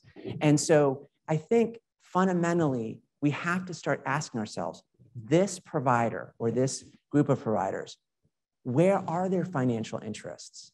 Are they really aligned? And early research we did about 12 years ago said they are not really aligned until at least 60% of their book of business is in full or near full risk.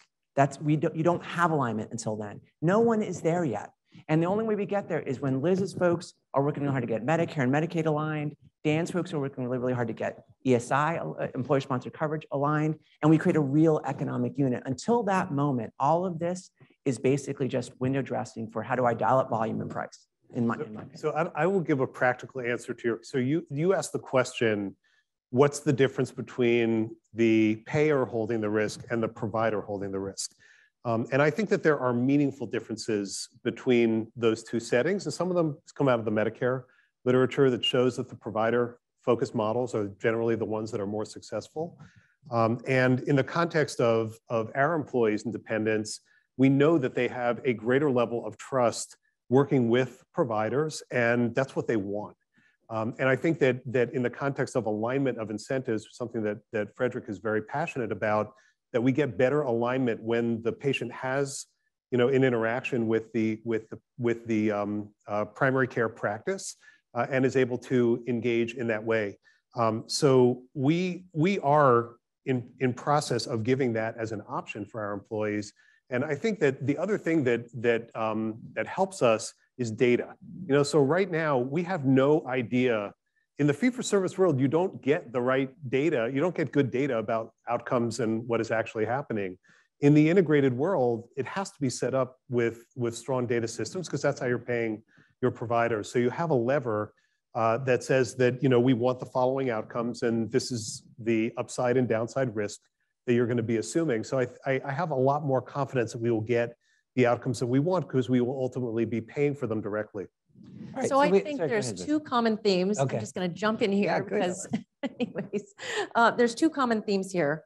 Um, First of all is that we all need to be on the same page and there's a lot of alignment on the direction to go. Patients, employers, payers, government, um, that really we need to move in the same direction, but we, we really need to do this together. Um, You were saying it, it 60% needs to be um, at risk or, or uh, at full, full risk um, before you start to make progress. It feels like um, if there's this much alignment, that's this whole notion of getting everyone on the same page, this multi-payer alignment is really key to making progress. So that's something we can work on.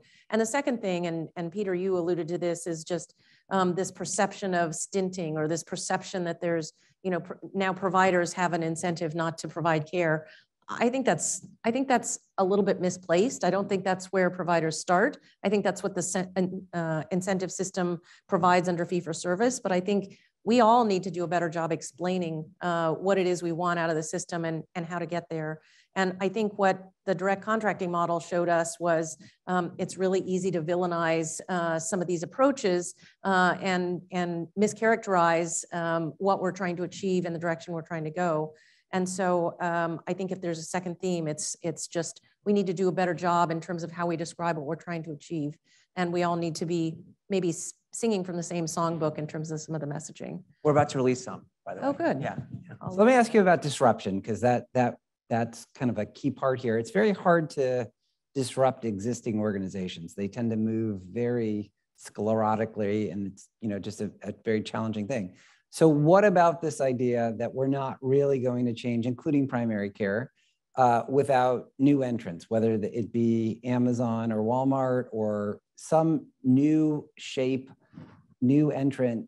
Can we get from here to there without someone doing something dramatic? I think that's the role of the CMS Innovation Center, to be quite frank with you. I think we need to do two things. I think we need to create that space for innovators and disruptors and and and where where do they need to go if um, you know those rules get in their way but they're looking to improve care for the right reasons we need to create that space but we also have to find a way to bring in those new entrants and um, those who haven't been part of value-based care so Yeah. i see that as fundamentally the role of of the cms innovation center And it's, it's so important because we have to also acknowledge that a lot of the distortions in the healthcare sector are because of government regulation and laws that restrict the ability of people to enter. And so if we don't have a really smart group of folks in CMMI working to kind of block and tackle those things to allow the new entrants to come and disrupt, we have a real problem. And I'll give you an example. Uh, when I was working at National Governors and we were working on some telemedicine and trying to get access in rural America for folks who, you know, had to drive four hours to get to their nearest provider. I mean, these people really, really need access. My phone rang um, for a few days, it rang off the hook. And it was nothing but the health policy advisors of rural states calling me to say that they were get, hearing from their medical societies about this interstate scope of practice issues, Mm. right? Like that's just one tiny example of the kinds of obstacles that get thrown up against innovators because the sector's using government regulation and laws to block new entrants from coming in and really disrupting them. So, so I'm going to agree with what Liz said about innovation coming out of CMMI. We've really benefited from the work of CMMI, and it's critically important that you know everyone in this room support uh, what Liz is doing. And it's not it's not a picnic over there, Nope. and um, she needs our support. So that's kind of point one. Um, point two is that we also need centers for studying innovation in the private sector. Um, that is what we have created at JP Morgan Chase. Um, we are uh, completely committed to publicizing the results of what we are doing, good, bad, and ugly. And that's something that you know we're committed to. And there are have been many other employers, and you know I, I think about Walmart and Boeing and others who've done really important and interesting work. Um, again, being candid about what is working and what is not. So we need kind of more innovation centers, if you will, um, not only within CMMI, but also out in the private sector. That's kind of a second point. And then I think the third thing is that, um, that I see much more innovation coming from the middle market than from those big companies that you uh, described. Um, so these are companies that you know have gone through an A round, a B round, or a C round of funding, uh, and are just kind of pushing to get to that next stage. And they are disruptive, and they come in. And again, every company has to have a relationship with the existing systems. But you know, look, I look at our partner in Columbus, Ohio, where we have about 40,000 employees and dependents, is Central Ohio Primary Care. It's a great primary care practice. It is a primary care practice that learned how to do risk from Medicare. And now they're coming in and structuring full risk cap with us. And for the employer sector, the only reason why we're able to engage with them is because of the work that CMMI did with them. And so it's kind of a, to me, there's, there's a real, um, uh, you know, kind of, you see the innovation essentially coming from the middle market as opposed to the larger companies.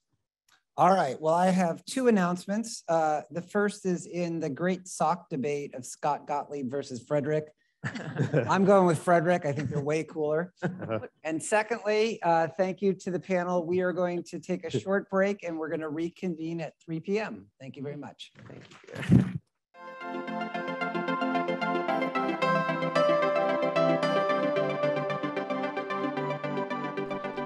2016, Duke University launched a new interdisciplinary initiative to advance health policy. This effort became a reality because of the generous support of Duke alumnus Robert Margolis and his wife Lisa, who founded the Duke Margolis Center for Health Policy. The Duke Margolis Center has been transformational to Duke. Our goal is to improve health outcomes and health equity across the nation. The Duke Margolis Center for Health Policy is an interdisciplinary research and education program university-wide at Duke intended to help improve health, healthcare, and health equity for people locally around the country and around the world through better evidence-based approaches to designing and implementing healthcare policies. One of the great strengths of being at a university like Duke is that we have access to extraordinary leaders, uh, leaders in our academic enterprise, in our health system, and importantly, in the Duke Margolis Center. This has been an extraordinary partnership on so many levels.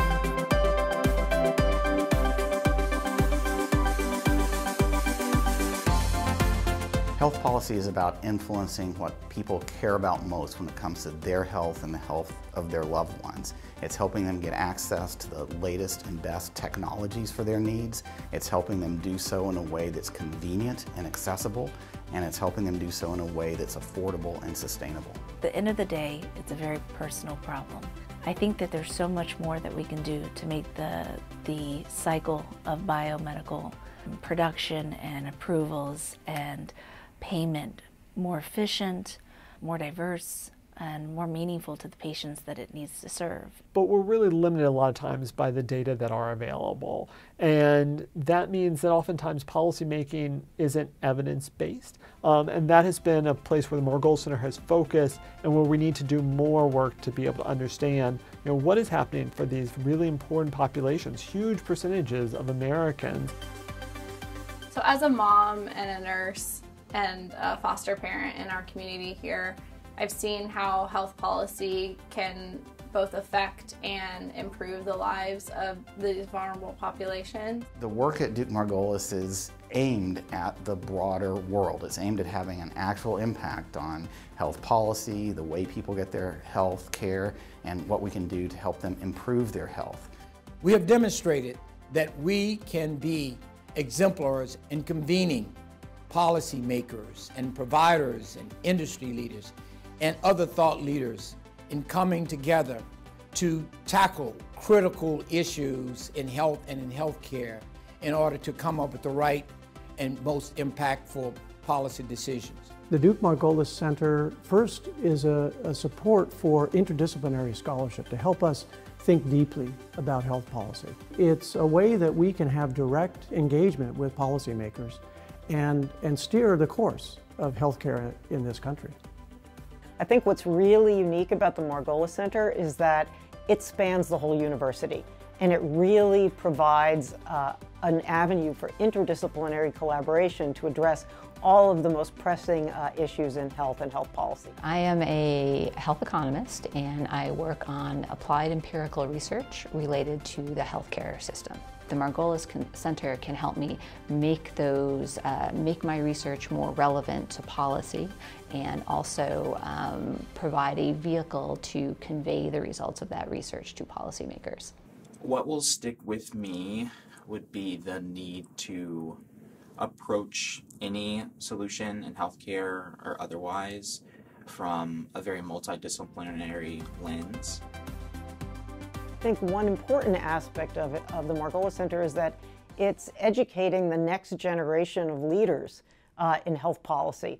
And so the students who flock to Margolis to get these experiences, um, they're going to be the people who are setting the agenda uh, in the future.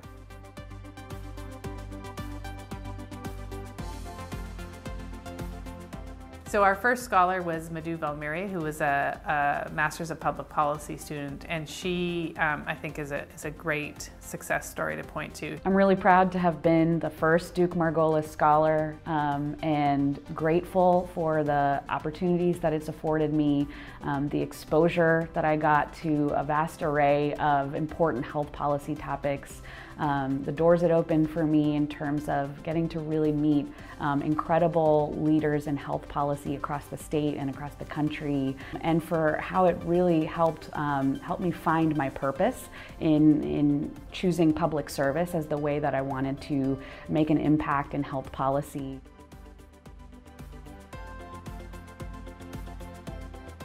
I, I, would say there's also an explosion of controversy in health policy now, and it's important to have trusted institutions that um, can not only um, develop uh, high quality, rigorous, and transparent research, but can also communicate the results of, of that research to uh, policymakers, consumers, the general public. So I think the role of, um, of the Margolis Center as a trusted institution is probably even more important today than it's ever been. This is really an exciting time in health policy. There's a lot of, there's a lot of problems within health and healthcare um, and health equity that, that need need solutions and need policy solutions. And it's been really inspiring to, to see the interest of students and to, to try to meet that need. In the future, I will be doing a job that has not been created yet. Duke Margolis has done a really great job of preparing us scholars for that type of innovation and for that type of fast-moving environment. Duke Margolis has already established itself as a go-to entity for us as a university, for anyone thinking about the transformation in healthcare in the coming years. Uh, our goal over the next five to 10 years is to build on this base of expertise, build on this base of reputation, and be the leaders who can help us think deeply about how our healthcare system can be uh, the best in the world, how we can improve equitable outcomes for everyone in our country and indeed throughout the world. We have more momentum uh, and more collaborators than ever and more opportunities than ever to build on these successes and achieve a much healthier, uh, a much more innovative, and a much more affordable healthcare system for the future. Be assured, the best is yet to come. Let's go Duke!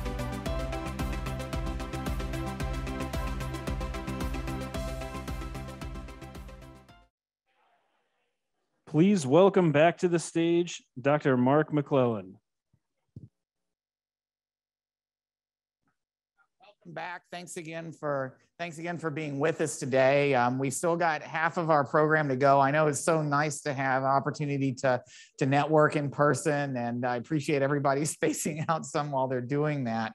Um, I, am also very much looking forward to this next segment of our program, uh, now focusing on strengthening FDA and CMS for the future. And as you know, there have been some issues in the news involving uh, FDA and CMS recently. So um, let's get going right away. First, I'd like to introduce uh, Janet Woodcock, who uh, uh, neither of these people really need introductions, but Janet is now the Principal Deputy Commissioner of uh, Food and Drugs for the FDA. And also would like to introduce Dr. Lee Fleisher, who's Chief Medical Officer and the Director of the Center for Clinical Standards and Quality uh, at CMS. Janet Lee, thanks so much for, for being with us. And I'd like to get right into uh, our, our focus on uh, opportunities for um, FDA and CMS to, to work together and how that's playing out. I think everybody here appreciates the importance of FDA and CMS for the process of developing and providing access and then encouraging appropriate use of medical technologies. And and the, the number, the diversity, the scope, the potential of these medical technologies keeps getting uh, more and more complex. Mm-hmm. Uh, that's good news in a sense that more and more opportunities to, in, to improve the health of the public, as we've been talking about already today in the context of COVID and elsewhere, um, but challenging in the sense of uh, how can we best develop the, the needed evidence to support uh, their effective use and make these processes go as smoothly as possible? Along with that, we're seeing lots of new opportunities for developing real world evidence, learning more about products once they're on the market, maybe doing clinical trials in innovative ways. So, um, what may be less appreciated is that FDA and CMS do have some uh, history of collaboration on these kinds of evidence issues and improving the, the development and, and, and use process. Uh, maybe some of the, the best examples of these, um, Lee, involve um, major medical devices and and occasionally these involve national coverage decisions where that early contact can contact and, and, and collaboration can help. So maybe Lee, if, if you don't mind starting, uh, can you talk a little bit about how early interaction involving FDA and CMS and other stakeholders has worked well in, uh, in the past or has had some notable uh, impacts, for example, around minimally invasive uh, valve procedures. Absolutely. And thank you, Mark. And it's really a pleasure to be here today with Janet and, and share the stage. And, you know, it's, it's sort of funny as an anesthesiologist, I've actually watched this in the field. And when I, I practiced, which I did last Friday, you could see the difference. It's really about TAVR and the idea of breakthrough and how getting it to earlier to market, but really do it, switching the evidence development, particularly the expansion of the label to the post-marketing uh, phase, post-approval, or you always correct me. And I say that only appropriately with devices are well they're cleared or approved, cleared so yes. feel free so after the device is cleared and you know what's been exciting is our team engages quite early um, on the device side with both the manufacturer and the device side of the FDA. And when the device came out, it was covered with evidence development. And what was exciting to both watch in the field, but also hear about from the CMS, the inside story, is you know, it was always, TAVR in particular was around high risk individuals. And as it needed to be expanded, they worked together as the IND and as the label changed it really was sort of joint work where the protocols were designed to actually fulfill an FDA requirement and a CMS requirement of our statutory authority about reasonable and necessary for the treatment of an illness. And I think that that's an example where the public, our beneficiaries in particular, really uh, received better care to now it's the standard of care.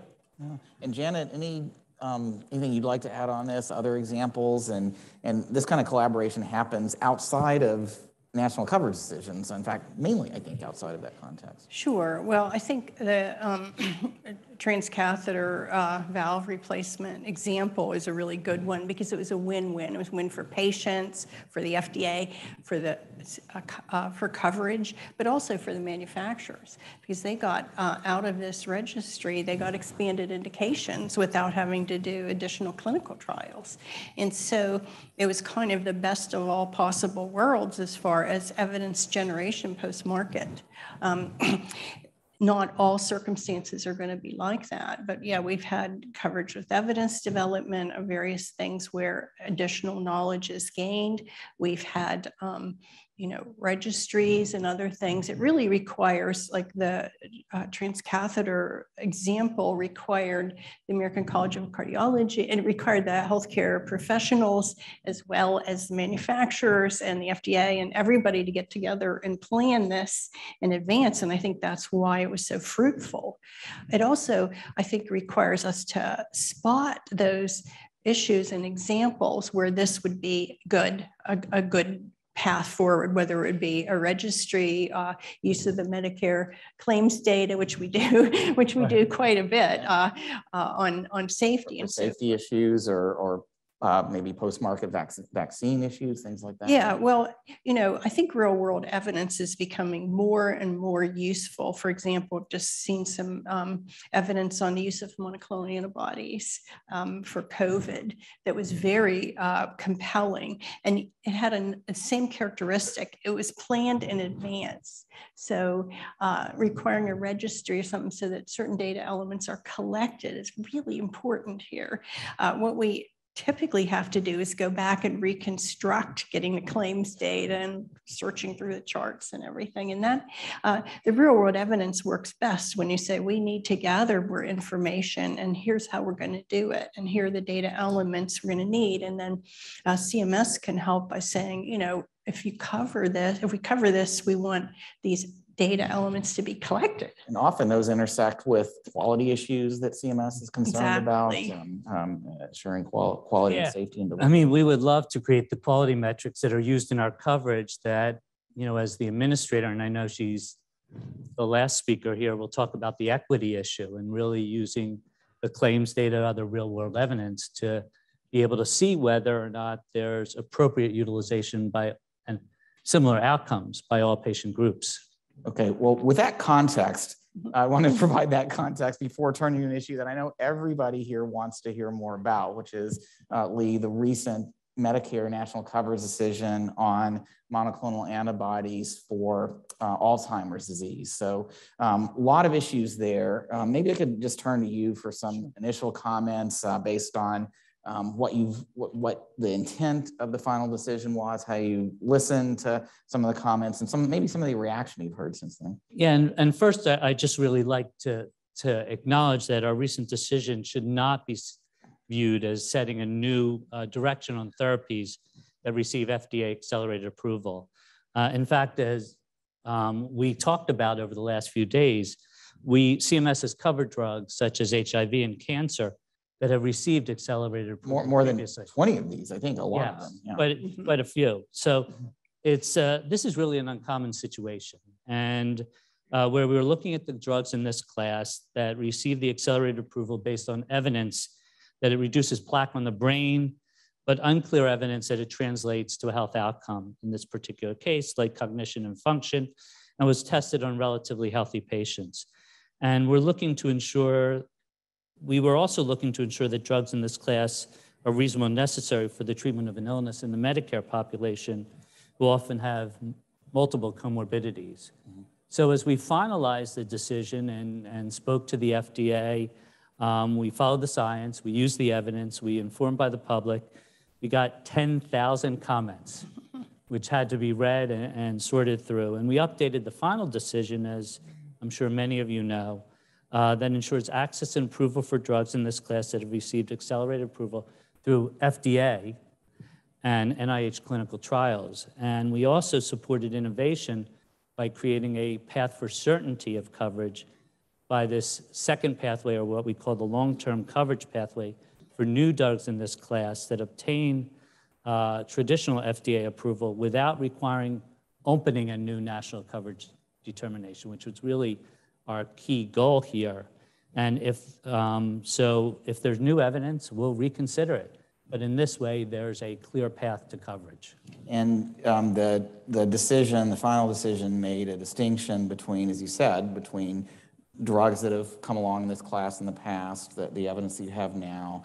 Uh, there, there are multiple additional drugs in the pipeline now with those um, uh, pivotal FDA authorized clinical trials expecting to read out in the coming months. And um, sounds like a, a, a different um, set of opportunities there based on what the evidence for each of those drugs shows.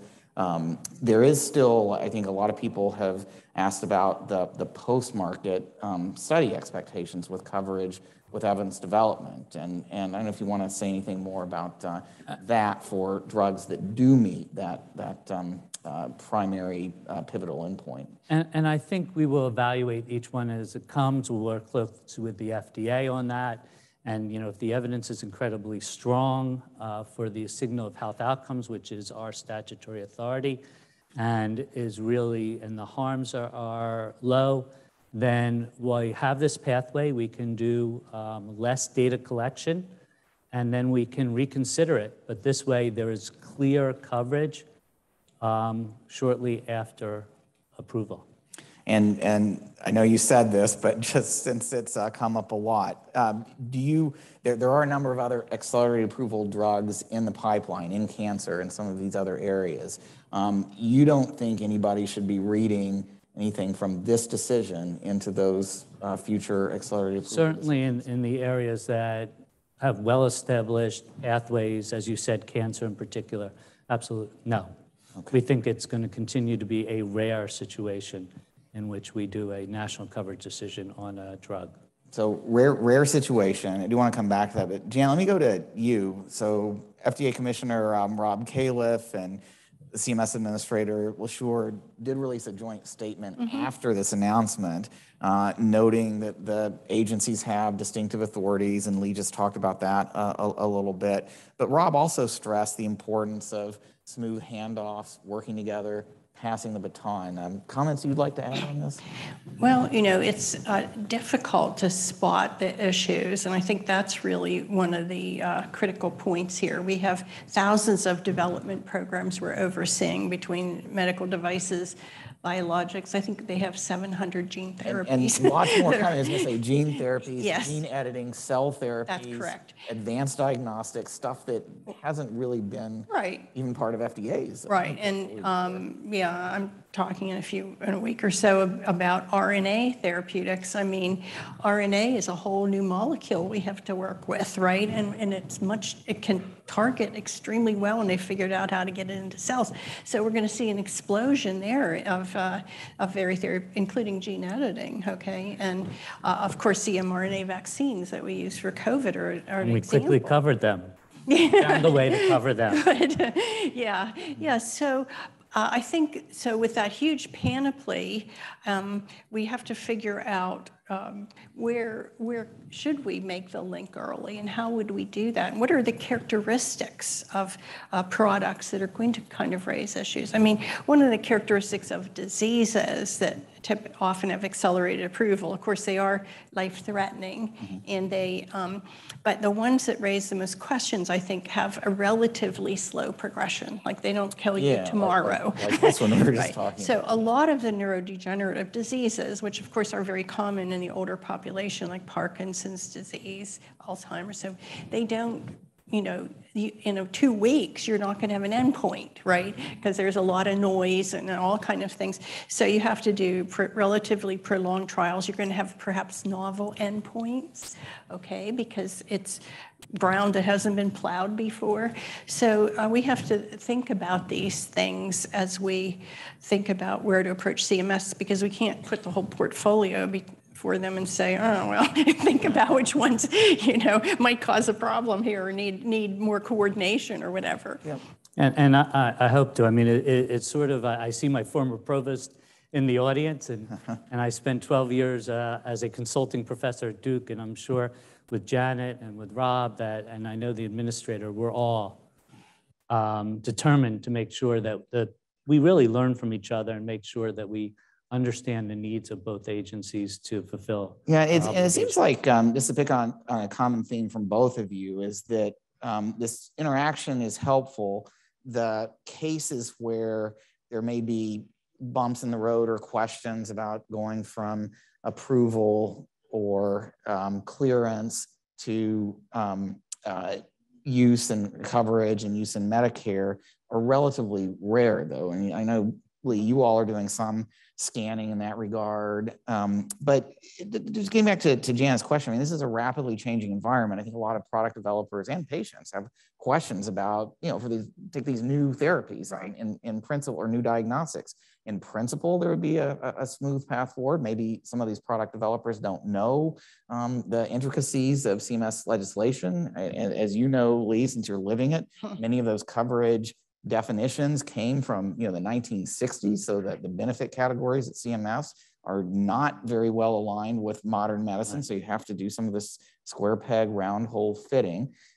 Janet's uh, fda has a lot of resources that it can put into kind of this horizon scanning early assessment maybe engagement with um, the broader community. Does that have implications or maybe how what you've talked about the spotting approach and and just you know being able to identify and address issues in advance um, does that have implications here Yeah, I think so. I mean, um, I don't think that FDA has focused on this, okay, as far as, uh, you know, the handoff.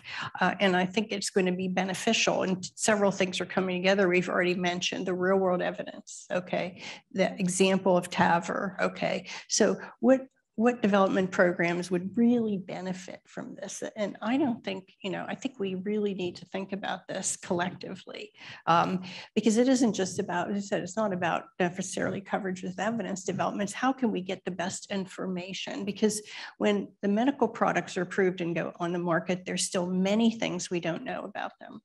Okay, and it's not bad. It's just that's how it is. Okay. And can we develop a better methods of learning post market that aren't so expensive, that aren't so clunky, that actually can uh, bring in evidence, uh, satisfy the FDA, satisfy the payer, satisfy the medical community, and figuring out not that's not going to happen with everything. So how can we figure out those really good use cases that we could um, that we could do this with? And I think that's going to be the challenge going forward because I wouldn't have necessarily thought the monoclonal antibodies would have been, except they had a really large treatment effect.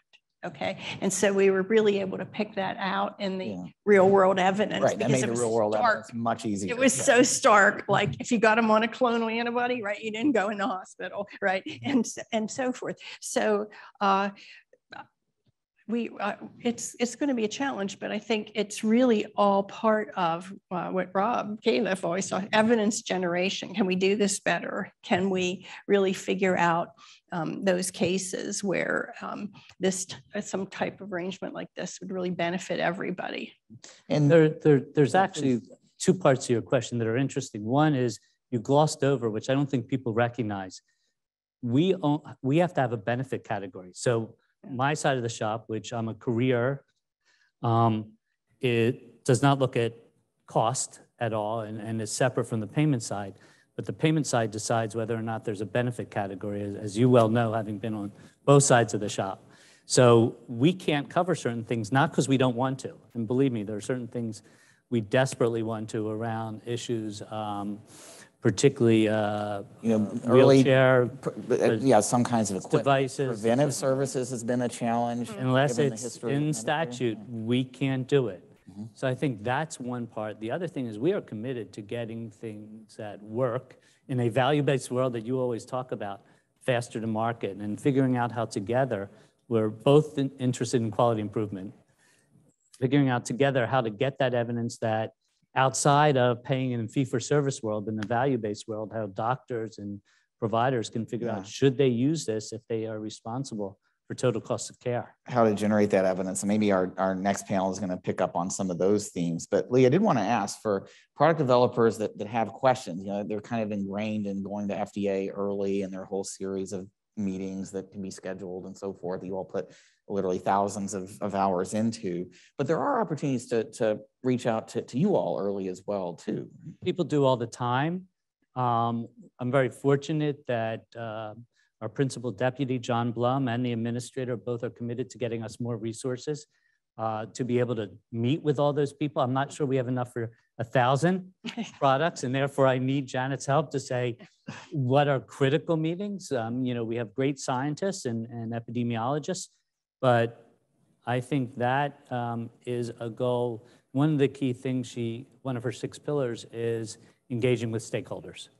And stakeholders who want to benefit the public are really important with novel treatments. Yeah, just an editorial comment from my standpoint, having spent time at both agencies. It's been um, really impressive to see the additional resources, capabilities developed at FDA over the last 15 plus years since I was uh, there, dating myself. Um, but um, if you look back at, at Lee, the amount of resources in your office when I was there 2006 versus today, it's actually gone down, and that's not in proportion, certainly, to what's happened in the biomedical innovation space and these questions that do come up. You know, these are not, again, national coverage decisions are rare sounds like from everything you're saying, they're going to stay rare. But these questions about is there a benefit category? How does coverage work? Uh, how could CMS actually help with addressing issues that, that FDA, concerns that FDA might have, or that, or that doctors and patients might have uh, that align with your quality mission? Those kinds of contacts seem like they'd be helpful.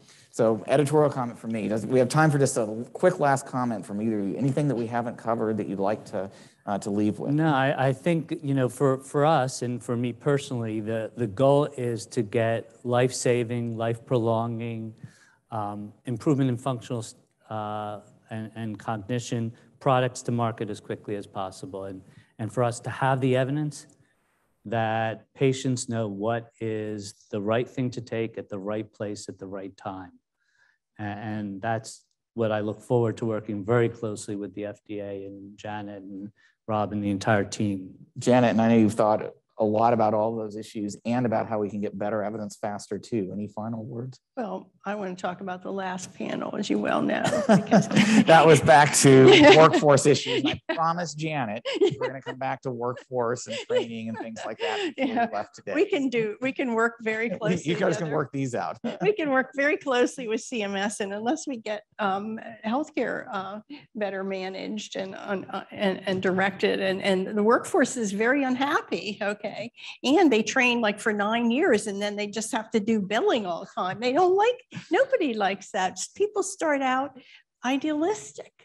Uh, but then they turn, you know, they have up $200,000 of debt or something. And so I'm, yeah, FDA is totally aligned with what Lee said as far as we want to get the best um, treatments out to patient and preventives and so forth, but we want information attached to it and evidence so that people know how to use it. And we would like to have the learning healthcare system so that we continue to generate evidence. Because even if we put something out, then we have the next thing. Okay. And we don't have any way to say, well, which one should you use first if you're a patient? Okay. We had this development program over here and this over here.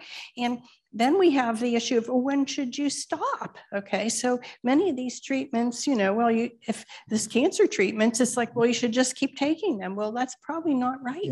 Okay, but we don't know when you should stop. So post-market um, evidence generation help can help fill many of these. All right. And I, I have to, because you brought up workforce. So tomorrow at the quality conference, we're ending where I interview Angela Duckworth on grit and the need to, for hope. Okay, well, I For our hope we can get workforce to be able to keep them You want to to give people good reason for hope. I want to thank you all, boys. So many challenges, but so many, so much uh, opportunities to work together. Thank you all very much for joining us today. Thanks, Pleasure. Mark. Yeah. All right, and we're going to go uh, straight into our, our next panel on better evidence and sustainable access for medical technologies, building on many of the themes here. Maybe uh, Esther, you'll even be able to work in workforce, but let me introduce Esther Krofah, who's Executive Director at Faster Cures and a member of our advisory board here at the center. Thanks, Esther. All right, thank you so much, Mark. And we're making our way. All right. Good to see you. Yeah. All right, well, we're going to pick up the conversation right where we left off with Dr. Woodcock and Lee Fleisher um, and talk about better evidence generation. And what a fantastic panel that we have to talk about that, which is really a panel that needs no introduction. We know all of you uh, quite well as leaders who've been working in this space for uh, quite a long period of time, decades, if, if uh, you will. Um, obviously, you can read more about them in the bio, but let me just go through really quickly who we have here on the panel. Uh, Michelle McMurry Heath, who is the president and CEO of Bio. Ellen Sigal, who we know well, chairperson and founder of Friends of Cancer Research. Amy Abernethy, uh, who is currently the president of clinical studies platform at Verily.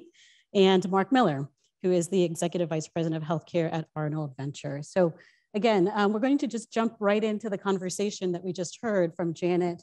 Um, as we're talking about better evidence generation, I actually want to start with, with you, Ellen, because when we talk about what's happening with medical breakthroughs, what's happening in biomedical innovation, there's a lot of innovation that's coming through the pipeline. You know, Faster Cures, we talk about there's 10,000 diseases, 7,000 of them are rare diseases, only 500 treatments and cures. We need more. Patients want more, and patients want more faster. Um, so, can you talk a little bit about what you see from a patient perspective and what the unmet needs are, and what the implications are when we need better evidence, better generation of that evidence in order to determine appropriate use of these technologies that we want as quickly as possible? Yeah, that's a big question. Uh, there's a lot. There's a lot. We're seeing extraordinary science. We have invested and we're seeing the results. Patients are living longer. We see enormous opportunities. We see CAR T cell curative therapy, immunotherapy. We're seeing um, diagnostics that can really determine precision medicine. So we're really, and these accelerated pathways have made a huge difference. They're not perfect, but we're getting them to patients faster. 60% of uh, all breakthrough is cancer. 90% of all cancer therapies are through an accelerated pathway, so there's a lot there. Now, of course, we have to figure out how to pay for them, and we have to validate their benefit in a post-market situation. They're not perfect pathways, but they've made an enormous difference in patients' lives. Right. And then when we talk about that innovation pipeline, Michelle, I want to turn it over to you because as a leader of your organization, you see that pipeline on a daily basis. And you see companies who are looking for information on consistent information, I would say, on what kind of evidence is going to be needed for regulatory decision making, but also for coverage decision making. Can you talk to us a little bit about the key policies you think are going to be critical in this space? Yes, well, consistency is always one of the key, most important elements. And it's not just for the innovators that are sometimes coming from small biotechs that are investing a decade, sometimes a decade and a half, of bringing a new therapy forward, but it's also for the really critical investment from a private sector that is choosing between do I want to invest in Facebook or do I want to invest in a 15 year pipeline for a new therapy for patients? And so we have to realize that this is an ecosystem, a fragile ecosystem, one that has already been broken in Europe, that is really, really difficult to sustain. And so this consistency is key. You know, it's so interesting with the last panel. You cannot put your finger on what was unique about this example that led to the extraordinary decision. And having clarity about what was it that was unique would be very, very helpful. And, you know, my gut tells me it's probably the scope of the indication. It was probably the shock of the public. It was probably that it was a first therapy for a class. Um, and so knowing what those third rails are would be very, very critical because it would help innovators plot their course forward. And just to follow up there, who should provide that clarity? I mean, it's difficult. I, spent five years at FDA. I have a lot of respect for the science and the very, very careful rigor that they go through, the, the elaborate stakeholdering that they do, the public transparency that they give. Um, but it's an evolving space, right? So, you know, we're constantly evolving with the science. And so it's difficult to really predict where, as an early panelist said, the puck is going to go. But one of the things I think we're seeing happen in slow motion is that we have a system of regulatory and payment that's set up for large disease classes that are homogeneous. And where the science is going is to picking apart those big categories of diseases into very specific subpopulations that need very specific targeted therapies. And we don't have the regulatory system or the payment system to evaluate them and to compensate them fairly either. Well, that's a great segue to you, Amy, because you've spent your entire career talking about better evidence faster. We talk about more treatments faster, but you say better evidence faster. And as you look across this landscape, and even in light of Michelle's comment, what do you think is needed? And Janet talked about the role of real world evidence and talked about the example of monoclonal antibodies and, and how that had a large effect. So that was uh, certainly a useful example there. But as you look across the entire industry and the pipeline, what do you think we need to do, either from real world data and evidence, in order to achieve our goal of better evidence faster? So let me step back and first um, think about this concept of real world data and real world evidence. And the FDA put out a piece in the New England Journal in December of 2016 highlighting that real world data and real world evidence is evidence generated outside of the context of a traditional clinical trial. It can be prospective, so pragmatic clinical trials are real world data, real world evidence. Also leveraging also passive sources such as electronic health record claims data, even social determinants of health or environmental exposure data. So all of these now can come together to start to generate a new evidence source where we can now get towards something that starts to look like totality of the evidence pairing traditional clinical trials data with real world data coming from prospective and retrospective sources. The other thing is that through technology, scientific innovation, and really innovation across the healthcare delivery space, we're now identifying and being able to leverage better and better real world data and real world evidence sources that we can put to work for us in order to address some of the elements that Michelle mentioned. So that's the first part is I think that there's hope and that we've seen progress in this space. We've also started to see that there's an increasing focus on the post marketing or post evaluation part of the evidence generation um, landscape. And that's important for two reasons. First of all, um, as we have more expectation of evidence generation after the initial regulatory decision, something that Janet was highlighting, the demand for evidence generation, better evidence faster, is going to go up. Mm-hmm. And also, importantly, it's going to give us the opportunity to learn from what's happening in real world practice, starting to get to what Michelle was talking about of, of really understanding all the permutations and how to match care. We've seen this play out in mRNA vaccines, and we could talk more about that. But then the question you also asked is what's it going to take beyond innovation in the data and tech side? And I think there are some policy actions we should look towards. Um, importantly, there's the work that's happening, for example, in the novel clinical trials and decentralized clinical trial space. We've seen that playing out in decentralized elements such as video visits and taking clinical trials directly to the patient's home. And um, for example, Cures 2.0 might further that initiative. We've also seen the opportunity to uh, essentially give more teeth to the FDA when we do leverage accelerated approval and other pathways, which means that there can be an approval based on a smaller corpus of information, an accelerated act activity, but not, now the FDA has the teeth to require mm -hmm. evidence after that approval. And also, for example, in the Pallone bill, the opportunity now to pull back if the um, expectations aren't met.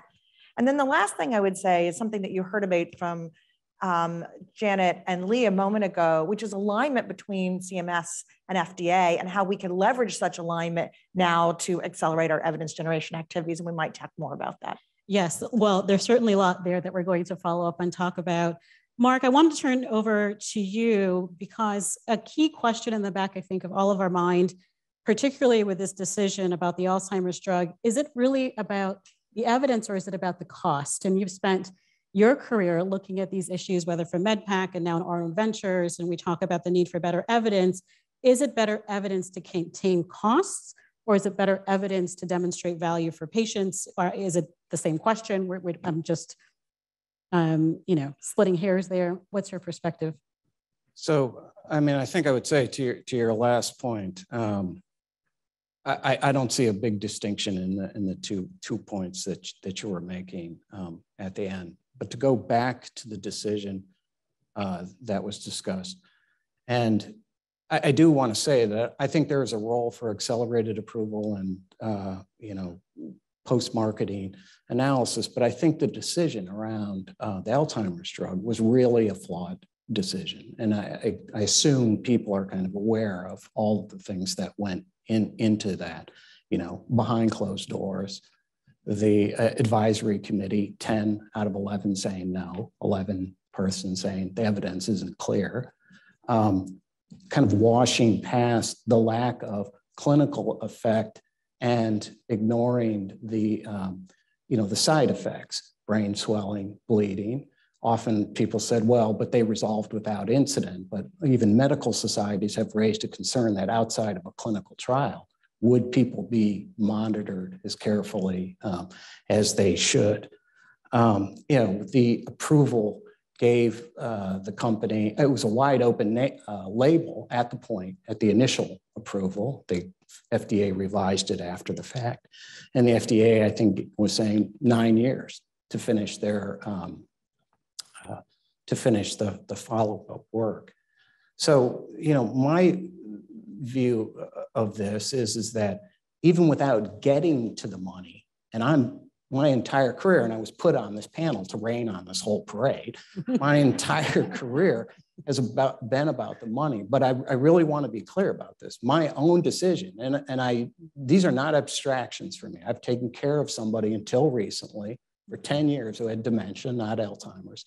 But if this drug had been available for her, I would not have given it to her. So on that basis alone, before we even get to the money, then I think you flip over to CMS, and CMS is a different set of um, requirements, and I thought that came out in the panel. And there is this question of reasonable and necessary coverage and cost. And I mean, people just blew, I mean, in making this decision, in my opinion, they blew past the cost. This is a huge cost for the taxpayer. This is a huge cost for a patient, even just an individual cost sharing a situation for the, for the patient. And so I think the cost, and if more of this is going to roll through, this is going to be a huge um, issue. And I worry about things like this, and it's not just me saying this. There are medical societies uh, saying this as well. Um, the American Academy of Neurology was very pointed. They didn't take a position. But I have to tell you, if somebody didn't take a position on me and said the things that they said about this decision, I would be pretty upset. Um, and among them, you know, they raised issues about undermining the physician-patient relationship. You know, the notion here that a physician who prescribes a drug is doing that with the confidence that the FDA has said this is safe and effective. They raised the, the, the price as an ethical issue. They raised the issues about um, not monitoring, not being able to monitor brain swelling and um, uh, bleeding. And they actually ended their letter saying that this threatened the very ethics that undermine the practice of neurology. And so I think there is a role for this. I think this particular decision was highly flawed and reflects what um, is the prob potential problem here. And I'll stop my comment now. But what I would like to get back to is I think there should be certain guardrails that people began to talk about in the last uh, panel, and maybe you were starting to talk about, that I think should be uh, in this process. Well, let's talk about that. Let's talk about the guardrails, and I, and I will come back to you, Ellen. Um, I have a question for you, particularly about this pressure around breakthrough and accelerated approval pathways. But let's talk about what those guardrails ought to be, Mark, because when we think about this, this is not, we heard it's uh, rare. I jotted that down, right? Um, it's not um, what we should expect for other disease conditions that are well established and well known. But in situations like this, where we don't have well established um, previous experience, what are those appropriate guardrails that will create consistency for innovators to ensure that innovation that actually makes a difference for patients can reach the market? Okay, so you're coming back to back to you. Yes. All right. Okay. My apologies. Um, so, I mean, I, I think it's important that we continue to say randomized control trials, patient outcomes are the standard that we want. I mean that there, but there are exceptions and that we should, you know, allow those exceptions, but they should be the exception, not the rule. I think a lot of the discussion towards the end of the last panel where there's collaboration between FDA and CMS should be the order of the day, and there should be engagement on the part of both agencies in order for them to say what they are looking for for their separate jobs to determine safe and effective or to determine you know, coverage uh, and, and, payment. I think that takes a lot more resources. You know, he said something about a thousand meetings, and I, I completely uh, understand the problem uh, with that. But I also think the decision process needs to have accountability and be public. it doesn't mean every meeting has to be public, but every meeting has to be discoverable. The meetings that occurred at FDA, people should have been aware of. And so I think there, and I also think that the staff that is working with the manufacturers to help them come along should be different than the staff who ultimately make the decision. If you grant the approval, the follow-up study should be specified in advance and uh, with the manufacturer and you know ideally to satisfy both CMS's and uh, the FDA's um, uh, requirements. I also think that there are um, there should be sort of uh, stop or you know kill switches, if you will. So if it kind of if the if you have uh, you know four years to complete a confirmatory trial, if you haven't completed the trial, the approval is gone. If you complete the trial and it's a negative, the approval is gone because we have drugs now that have completed their trials, they're negative and they're not withdrawn. And then finally, I think the manufacturer should be required to give a steep discount to the public programs while they're running their confirmatory trials to build a fire behind them to make sure that they do complete those trials. That's at least some of the guardrails that I would say. Well, I think there should be a lot of opinion about those guardrails, and I'm curious to get the reaction for the rest of the panel on that. Ellen, let me come back to you. Where is the pressure coming from questioning these pathways, breakthrough, accelerated, wanting to ensure there's additional guardrails, wanting to ensure that they're achieving their goals, we're getting better evidence, and we're able to make the appropriate decisions from the evidence. Can you just talk a bit from your pressure perspective? For sure, is not coming from patients or mm-hmm. oncologists or people who are treating these patients. The science is not perfect. There is uncertainty but we, with the accelerated approval pathway and breakthrough, we are getting patients uh, treatment uh, years before. We must validate We have to have confirmatory trials. Nobody is suggesting that if a trial does not meet its endpoint, it should not uh, be taken off the market. I will tell you, in oncology, they're all meeting their endpoints. They are doing it within a time frame. And going back to Aduhelm and what happened, we can respectfully disagree. But what we can agree on is the process was flawed and did not help anyone by, by all. And I think the uncertainty that came out of CMS scared the uh, unmet medical need, the patient community, and people that are really waiting for these treatments. They're just not perfect. And I want to quote Amy Abernethy hard, hard mm-hmm. things are hard. Yeah. Worth doing. Yes. Yeah. And, and Esther, I just think we forget mm-hmm. The history of accelerated approval. I mean, if you harken back to 30 years ago when HIV patients were picketing the FDA and the NIH because they were facing a terminal illness with no good solutions. That is what accelerated approval is designed for. And yes, the first products that come through are not necessarily the most perfect products. If you think back to AZT, it was a panacea at the time, but now we know it had a much worse side effect profile, much less effective than some of the therapies that followed. That's exactly how the science progresses. That's what we want to see.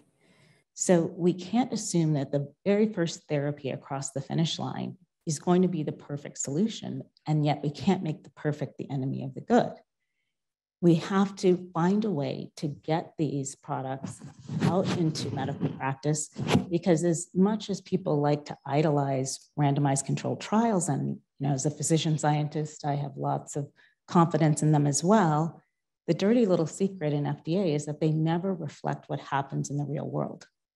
And that's in part because they're not diverse.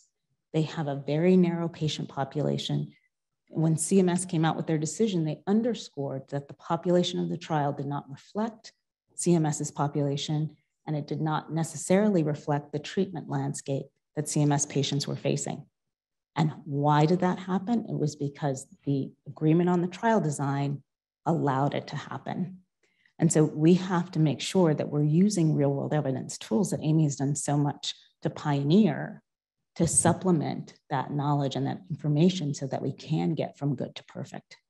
And so, on that, in terms of randomized controlled trials are the gold standard, double blind, we want to make sure that we have a representative patient population. As new tools are becoming available, what are the opportunities, Amy, for us to make sure that it is ubiquitous across the entire ecosystem and we're not just talking about certain pilots and certain disease classes um, that may have some benefit, but we don't necessarily see that for everybody. So, so, the first thing I would say is, as we talk about the accelerated approval and breakthrough pathways, part of the reason we can have this conversation is that the basic science is really chugging along and getting better and better.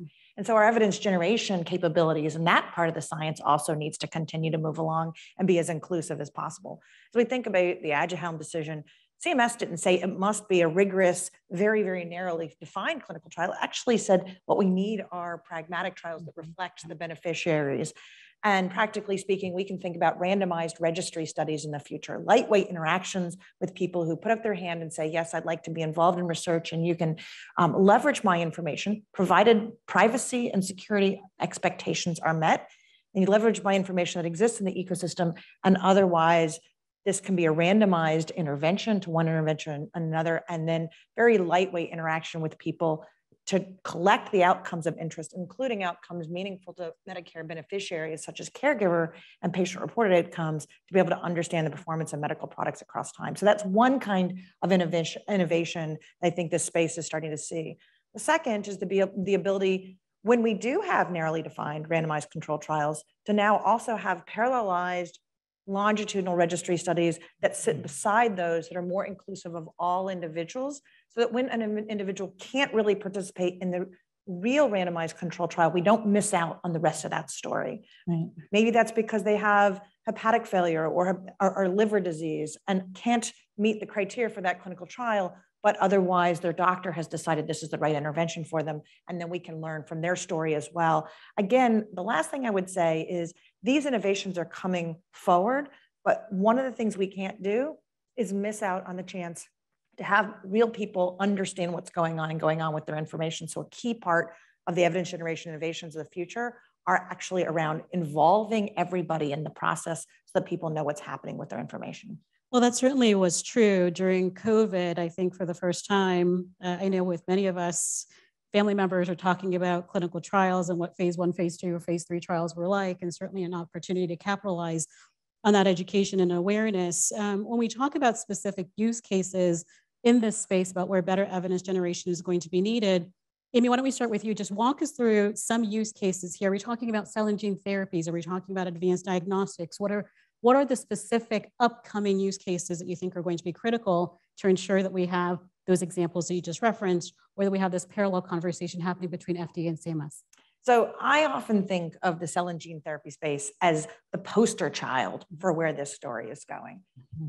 Importantly, cell and gene therapies are often indicated for rare diseases or specific situations, often for children or younger in individuals, small indications where what may happen is this intervention may be approved on a small corpus of information, even a single arm trial based on comparison to historical controls. And now the need to really follow for the long haul this group of patients. So there's two parts to this. One is being able to have enough compelling evidence to understand safety and efficacy to a level that guides that initial regulatory decision. And then the FDA has put out in many different contexts, there's the expectation of 15 years of longitudinal follow-up. So pairing the initial regulatory decision with 15 years of longitudinal follow-up tells us two things here. First of all, we're going to need the ability to have confident inf information in the beginning that then has the follow-on process. And the second is that 15 years of longitudinal follow-up is going to have to happen without overly burdening the very people who need these interventions dealing with the fact that imaging like CT scans and diagnostics are going to change over that period of time and how do we build that into our understanding and then finally how does the FDA and others have the right kinds of tools to pull back for example an intervention that's unsafe or be able to modify an indication as needed as we learn across time and I think we're going to start to see this play out in many different indications. I mean, the idea is that we have a true learning ecosystem, right. and, and Janet talked about that, where when you do have a product that's over the finish line and you had evidence at that particular time and you learn more later, you have the opportunity to pull back and adjust. And I think everybody would want that, including patients would want to understand we've learned more that maybe this is not as effective for my particular case as, as it is for, for another. When we talk about the role of evidence generation, there's so many stakeholders involved, patients, are part of their own disease foundations and organizations where they're part of clinical trials or, or patient registries and the like. You know, Ellen, I'll start with you and then go down the line, Michelle and Mark, for you to comment on what is the role of other stakeholders, FDA, CMS, but beyond that in industry, patient organizations, and others to be part of this learning ecosystem that's focused on evidence generation? What are their unique roles and how should they really think well, about the policies going forward? collaborate. They have to mm-hmm. collaborate. We have to we have to work not in our silos. At Friends, we work with payers, we work with academics, we work with the FDA, and we work with clinical trial people to really get evidence so we have something that is believable. So we have to get out of our silos and not only do the patients who really, and they need to get the best evidence possible, but frankly, government agencies. I mean, they have compatible missions, but different missions. And we could have perhaps avoided this fiasco uh, if perhaps there had been better collaboration between FDA, CMS, and NIH from the beginning out of it. But we also have to understand these are not perfect. We have to validate these and post-market, and we have to start these um, uh, uh, trials earlier, confirmatory trials, and they have to, if they don't work, they have to be taken off the market. But we have to get out of our silos. Well, silo breaking is critically important. I mean, I remember at, at, my time in FDA, we were working on parallel review and we were trying to get CMS to come in earlier and earlier um, into decisions. And it's, it's challenging when the agency is really not staffed, even for their current workload, let alone for this additional workload. And often we would get the response, we'd love to, but we just don't have the bandwidth. Hmm. And so I think we do need to do some soul searching and some thinking about how we're going to properly resource, resource and staff um, CMS to deal with this new flood of new science that's coming down the market. But, you know, I think we often too fail to understand completely how FDA makes decisions. You know, the decision for the first drug for an unmet medical need is a different benefit risk question than when it's the 10th therapy when there are five other highly successful and fully disseminated products out in the market. And so it is a sliding scale. And as patients, you want it to be a sliding scale because when you're waiting on innovation, it's important to have access to hope. So we really need to adapt our thinking, but we need plasticity in the regulatory system so that it can course correct because that's critically important. And it has over time. I mean, there are products from both the regular um, FDA approval process and the accelerated approval process that have been withdrawn from the market. And they're actually very comparable percentages. Um, and all of those are very, you know, carefully considered decisions. So you asked the question and I could answer it, but I am going to respond to these comments. Um, it's the second time through on this, and there's a point where I disagree, which is I absolutely agree that the first one through the uh, you know through the funnel, there may be a different standard. I understand that argument, but I think the other side of that argument is who bears the risk for that. And so the concern that, that I have, first of all, when you say that there's a sliding scale, and my company comes through first and I get approval, then the scale shifts for everybody behind me. And I don't believe that it can happen. I don't believe the government, without being, you know, indicated or, you know, sort of sued for being arbitrary and capricious, can change its standards. I think it should. I think the evidence should drive what the decision is. But the manufacturers that you represent are going to be right there saying, will you let that person? It happens every day. I, I understand, but I think what the, this decision in particular is going to start challenging that. I think the other shift that it, it's uh, kind of starting to push is where's the burden of proof of evidence? Is you does the manufacturer produce the evidence and get the approval, or does the manufacturer get the approval and then uh, produce the evidence? I believe there should be post-marketing evidence. I do believe there are cases when there is accelerated approval. I still think the clinical trial should be kind of the, the gold standard. These other data sources are good ways to supplement it. But the last thing I'll say is who bears the cost of making that decision? I mean, depending on like if two of the six million um, Medicare beneficiaries, when the decision was originally made, a third of them got this treatment, that would have been $50 billion a year. It would have been bigger than the Part B program, drug program in its totality now. And at my, you know, my point to you would be if that's the way it is, then the manufacturer should bear the cost and not put it on the beneficiary, on the taxpayer. Well, but you know, that's an interesting point that you raise because if the therapy had proved to be 100% effective, reverse all clinical symptoms, and have no side effects, would that cost have been too high? No, I mean, So- in that so instance, then it, so there, there's a coverage. Yeah, so we can't conflate the science with the cost. We're talking about the science here. And often it's about making sure that the patients that are most at risk, that respond most to the therapy in those initial trials, have that you know, privileged access to the therapy while we are filling out a much more complete scientific picture.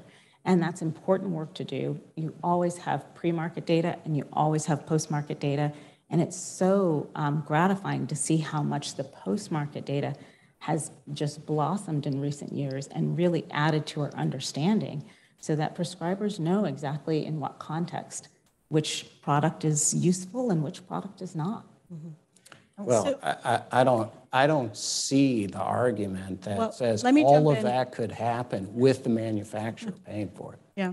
I think there's. Well, w- we can go back and forth. Let me just ask one more que- question. You want to finish your thought, Ellen? No, ask No, one no, more I question. said it clearly. There is a patient. We should not forget about the patient.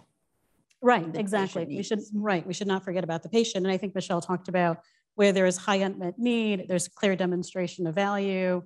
Absolutely, you talked about the fact that that Yeah, decision none would of be a which very was met different in this kind of- instance. different kind of decision. Okay, so in our final moments here, I want to go down the line and talk about what are you the most optimistic about from an evidence generation perspective as we do see new tools and new opportunities to learn more in the post-market opportunities, where should we see policies evolve in the next, let's just say two years? Amy, let's start with you.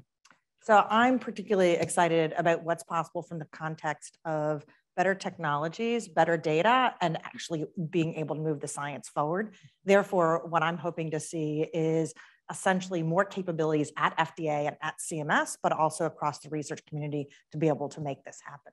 Mm-hmm. So I'm excited about the science and that we're getting to curative therapies yes. and we're getting to diagnose earlier when it makes a big difference and we can't stop. That's what I'm excited about. Yeah. Ellen kind of stole my point. You know, if, if when you're out every day talking to these really many young and excited innovators, they are not daunted by these huge disease classes that have plagued us for years with absolutely no solution. Mm-hmm. They are using the scientific tools of the future to strip apart these diseases into you know, the 20 subclasses that are actually going to give us the chance to pinpoint the patients and get them the targeted therapy that helps them. And that is critically important for what's ahead. I just think given how badly this decision went, maybe this will drive change. That's a great note to leave the panel. Thank you all so much. Really appreciate your time.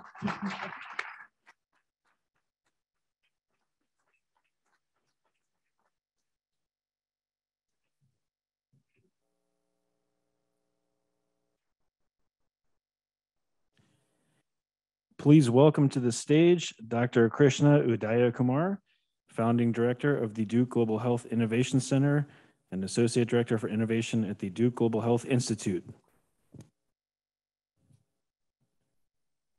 All right, what a fantastic afternoon already.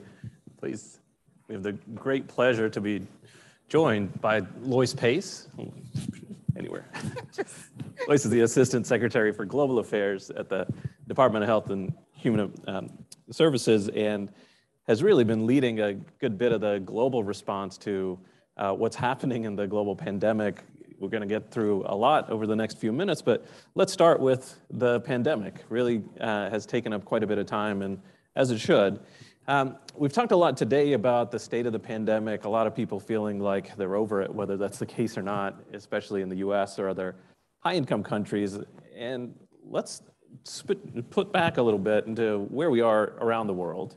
Uh, if you look at the reported numbers, we've hit 500 million cases more than 6 million deaths, and we think that's a pretty gross underreporting. Uh, if you look at some of the data that's coming out now, we may have as many as 800 million people exposed just in the continent of Africa.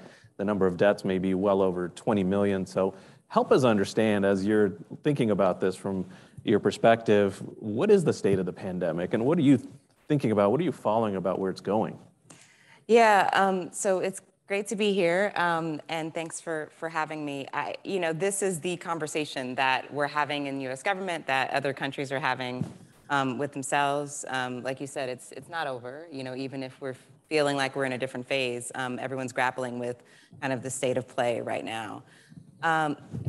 Just this morning, right, or maybe overnight, um, WHO you know, provided an update as to the additional variants or sublineages that they're looking into. So I think we're going to be in this state of play for some time, um, whereby we're all sort of learning what it means to be, you know, Omicron or Omicron plus something else. Um, and so that I, I, will speak for myself, is a little exhausting uh, and, uh, you know, even overwhelming, um, if we can say that at this point in the pandemic, but that's, that's where we are. Um, we also are still in a place whereby, you know, there are way too many countries um, and communities, uh, which is what that translates to around the world, who are under vaccinated. Uh, and that is going to be an ongoing challenge. It's something that we continue to try and tackle ourselves as USG, but we also are trying to do that in partnership um, with, again, some of these other countries around the world. So those are the two pieces top of mind for me. Um, I know that there are plenty of other issues um, that we will probably get into as part of this conversation, um, but appreciate that, that opening question. Yeah, you mentioned vaccines. Let's dive into that. We know that vaccine equity has been difficult, to say the least, during this pandemic. And while it might be better than historical standard, that's a pretty low bar to meet. Yeah. Right? We've had about 11.4 billion doses of vaccine administered around the world. And if you compare low income to high income countries, it's about a tenfold difference. So for every 100 people in low income countries, maybe 20 doses, 200 doses for high income countries.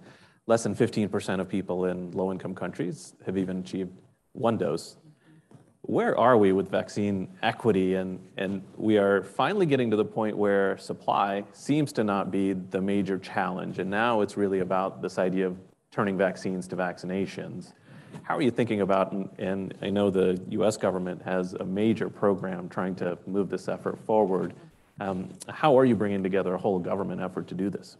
Yeah, that's been um, really important to us. The US has been engaging around the world on immunizations for decades. And it's important for me that I start there because, you know, we didn't just start doing this with COVID. We've been doing it with polio and with, you know, a number of other um, immunizations. Of course, that's been um, sort of you can argue limited to, to childhood vaccines, and yet um, we're trying to build on those existing platforms and initiatives. So we do have this Global Vax um, initiative um, that is whole of government, and we're really saying, okay, given all of the places where the US has been operating for decades, um, and given what the needs still are in many of those countries, what can we do to really join forces across US government. So whether that's with USAID and their operational capacity or State Department and their diplomatic capacity or a CDC and all of the other uh, resources that they bring to bear, that's it's sort of this I'm going to date myself if I say Voltron, but you know, this sort of transformer of sorts um, when it comes to the work that we're doing. And it's really important because, you know, it's got to be on hands, all hands on deck um, on the ground. And importantly, it's not just us sort of parachuting in saying, look, we are here to save or service you. It's, you know, us listening to these health ministers really say, well, actually, our issue is more around logistics, mm-hmm. maybe a bit around workforce, you know, and plenty of other places. It is a confidence issue in certain communities. And so we're able to kind of like take these various solutions off the shelf that have worked to date um, and really um, kind of show up um, in a way that's most meaningful to these governments. That's great. And how have you really looked at the the details of the challenges here across different countries? And you know, we've talked here today and in many other venues about some of the challenges in the U.S. and other places, whether it's around confidence, misinformation, generating demand, or making sure that we're creating the logistics systems. And and one of the things that I think many of us may not have appreciated going in is that in in many low and middle income countries, they're actually dealing with even more complicated logistics in that they're often dealing with more vaccine types than we have mm. in the US. So not only are we getting vaccine late, we're getting it in a much more complicated way. Um, how is the US government trying to you know, smooth that process out? Yeah, we've at least tried to say, um, look, you know, work with countries themselves to understand again, what their needs are and give them a sense of what's coming down the pike. Um, to the degree we're providing these vaccines bilaterally, then we have those conversations directly. Um, and we not only, you know, understand what their needs are in terms of quantity, but then we help them know, okay, well, we're actually going to be able to get you Pfizer, which is going to require ultra cold chain storage, right? Um, uh, we also, to the degree we work through COVAX, which is still a majority of our of our donations, that gets even easier because not only is COVAX helping countries understand what's coming from the US, but what's coming from other countries. It really takes, though, everyone playing in this way. We can't be the only actors who are giving countries a heads up. And what has happened, and it's been reported, is they don't always receive that. And so then they're asked to take in this influx of product. And then, of course, these countries get blamed if they can't get shots in arms, right? So, it, you know, I think we have to be more fair, obviously, to governments around the world and you know, understand that they, you know, they, they are also trying to manage this as best they can. And frankly, we all had challenges when it came to getting shots in arms too. Yeah. Let's switch gears a little bit. In addition to vaccinations, we now have oral antivirals therapies that could really be game changers from a global context because they can prevent severe disease, they can protect health systems, especially in those populations that maybe have gotten the least access to vaccines as well. In the same way that we are trying to ramp up test to treat strategies here in the US, your office has been thinking about the, the planning and how to actually roll out test to treat from a global perspective. Yeah. What is that going to take? Seems pretty daunting.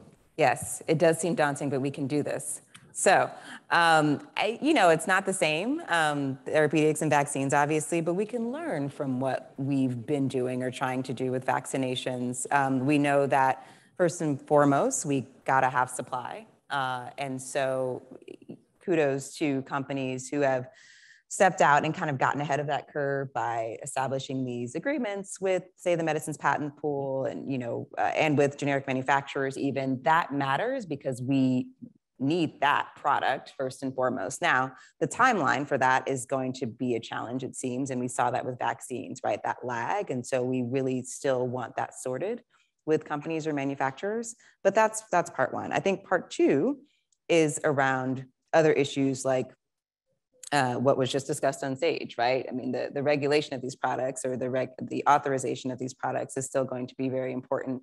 And that was something behind the curtain that people didn't realize was happening. It wasn't enough just to authorize these products. You had to have these countries be able to actually, or it wasn't enough to have them be available, excuse me, these countries had to authorize these products so that we can even ship them so that they can even receive them. Uh, and so, you know, what does it look like to for these um, products by certain companies to be authorized or for these you know, generic versions to be authorized in a timely manner so that they can reach people in need. The last thing I'll say about test and treat or test to treat, which is how we're referring to it here, is um, the opportunity or even obligation to focus those efforts on those at highest risk, especially the, for those for whom vaccines perhaps are not as effective or who run the risk of having more severe disease, if not death from COVID.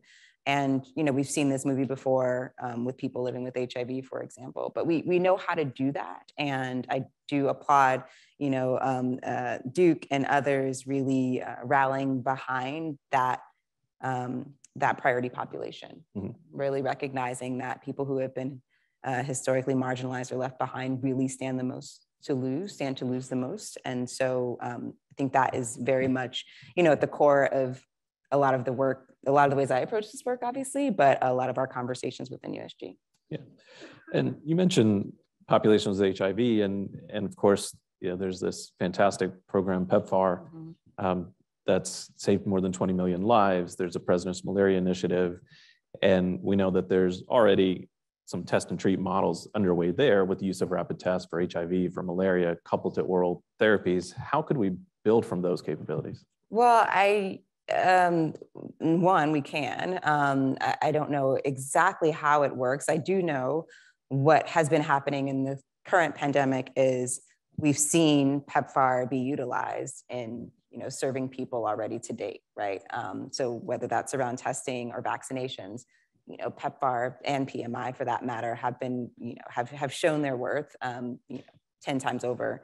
Um, I, I want to be careful sort of putting too much more on those programs in a way that doesn't allow them to deliver on their core mission. So that's, you know, that's always the dance. And I think for people who are, you know, really wanting us to end AIDS or malaria, that's really important to all of us. Um, but we'd be foolish if we didn't look to those programs um, as to kind of how we can at least start the work of yep. testing to treat. Absolutely. Now, if we pull back and building from some of the conversations we heard earlier today, that people are tired, there's complacency, you know, maybe the majority's decided this thing's over. Mm. Um, but we're also dealing with limited resources in a global context. We've got health systems that are fragile, that are underdeveloped. And we're really, seems to me, at a transition point where we're moving from two years of emergency crisis response to something that has to look more like sustainable yeah. COVID control, but one that links much more perceptibly to stronger preparedness. Mm-hmm. And that also helps to build the health systems we need in the future that can be resilient, that can deliver value, that can be person and patient centered. Right. What, how do you think about this transition? It's incredibly difficult when you're trying to raise money a billion at a time for things that are um, that have such high return on investment and yet we're not getting financing to be there yeah. how do you not just focus on this emergency which we need to but also use this as a as a point of building mm-hmm. stronger infrastructure well, we're able to do that to a degree, um, and it's because we're all still living through this. Um, it, it's hard. It's hard when you have um, a compilation of crises, right? Um, just open up the paper and read today's headlines. It's it's not easy, but um, unfortunately, because the pandemic has hit everyone, maybe not equitably, but it's every it's been everyone's been touched by COVID nineteen in some way. Um, that is helping us make our case um, and make the case for um, for a dual approach, you know, preparedness and response. I think one other fear, though, um, and that I've heard is that we're going to pivot too quickly to preparedness you know? So if we can build this momentum around how we prepare for the next one we you know run the risk of forgetting no we're still very much living through through covid-19 now and it's and again some more than others. So it's that walking and chew gum thing that we have to do um, for sure. And i think part of this has to also be about you know not just thinking of this as a security problem or global health security, right? Or even pandemics and health emergencies, but really focusing on the systemic issues that got us here, um, whether that's around political will and leadership or just access to care, right? Which is something that my boss talks a lot about. Um, that I think that's even harder, honestly, just to mm. get people not only to think about this as an emergency, whether we're responding to it or preparing for it, but then to say, well, actually, we always should have been thinking about our health workforce and their, right. you know, their stamina and burnout and all of those things. We always should have really tried to dig more deeply into equity and how we truly solve that problem. So that's, you know, that's not for me to solve by myself. That's for all of us as well but that's my take. That's that's great. And building from that, you mentioned workforce, um, which is a major issue certainly around the world, including here in the U.S. with burnout, with availability. Um, and perhaps one of the ways to start bridging to the future is thinking about small pieces of this, like how do we protect and build a workforce? How do we professionalize workforce, which is not always the case yeah. globally, but also how do we start thinking about building capabilities like surveillance, mm-hmm. which is certainly going to be needed for the response and preparedness and, and to deal with other diseases how do we think about strengthening primary care or how do we create the supply chain? Right. how are you thinking about the building blocks so many of which are spread across you know programs that cut across different parts of the government? We're thinking about it just like that. It's like you work here. I like it. Um, so um, i mean i think you know there could be a question of what what we tackle first. Um, and you know i'd say we're we've been paying a lot of attention to surveillance. I think that's the easiest thing to bring over and kind of that the fire we can keep burning. Um, but workforce is another, you know, big focus area of, of ours in these conversations. So that's, you know, starting point. I think a third pillar of this is around the supply chain and you know just how product moves around you know and gets from planes to people um, so that's you know that that's our approach right now i think um, I, i'd be remiss if i didn't talk about the international negotiations around what comes next, right? So yeah. um, my office um, and, and team have been very involved in those conversations at the WHO and really trying to understand, you know, how we where we go from here, you know, how we rebuild yeah. um, in a way that prepares us uh, appropriately. So that's another part of the equation, and I think that that framework will also help us prioritize um, of like where we start um, it won't include everything, I think, by design, but importantly, um, we're not just looking to ourselves, but looking to the general public to advise um, what that should include so that we get it right. Yeah. So building from that, you had a chance to host Dr. Tedros, the Director General of the WHO, last week. You've been spending a lot of time thinking about what does come next. Mm-hmm. There's some negotiations underway. There's some public sessions coming up what should come next as you think about what we've learned mm-hmm. about what we might call global health architecture, yeah. what's worked and what hasn't worked in the last couple of years? Yeah, we um, we've been taking a two-pronged approach in the U.S. government, which you know. Um, so there's already an existing structure. and structure might not be the right word, but a set of protocols, the international health regulations that you know should have should have maybe worked better than they did, but this is why we're tackling it um, because we we know that it requires tweaks. And so the us government and other countries are coming together to kind of look again at those regulations to say okay before we have sort of years long conversations about perhaps some international agreement what can we already um, change that will protect us um, in the coming months or you know in the in the medium if not short term but then there's this other work stream around this international agreement, and that's much bigger and broader um, because the international health regulations don't cover everything, notably, a lot of the issues around equitable access. Mm-hmm. And so it's our hope um, and determination, I might say, that those conversations really dig more deeply into those types of issues. And together, those two areas, this international agreement or convention or whatever it's going to be called, right. and these international health regulations can finally kind of create the architecture um, that prepares and protects us into the future. Yeah, no, thank you. You know, one of the challenges has been here at home in terms of getting more resources to continue this global effort. If we track what's happened over the last few weeks, we heard initially you know, what USAID and the State Department were thinking was something closer to maybe $18 billion needed for this global response. That got cut down to maybe 10 billion to help support and move this. And the negotiations got to five and then one, and we're now at zero. What does that mean? Uh, it means I've had a lot of sleepless nights.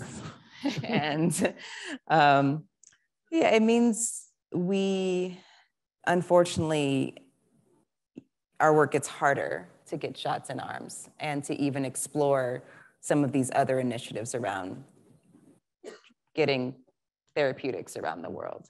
It doesn't mean the work stops. We, we keep working um, and we keep finding maybe new and different ways to get it done. Um, but I'm not going to sit here and tell you that we don't need those resources because they matter, right?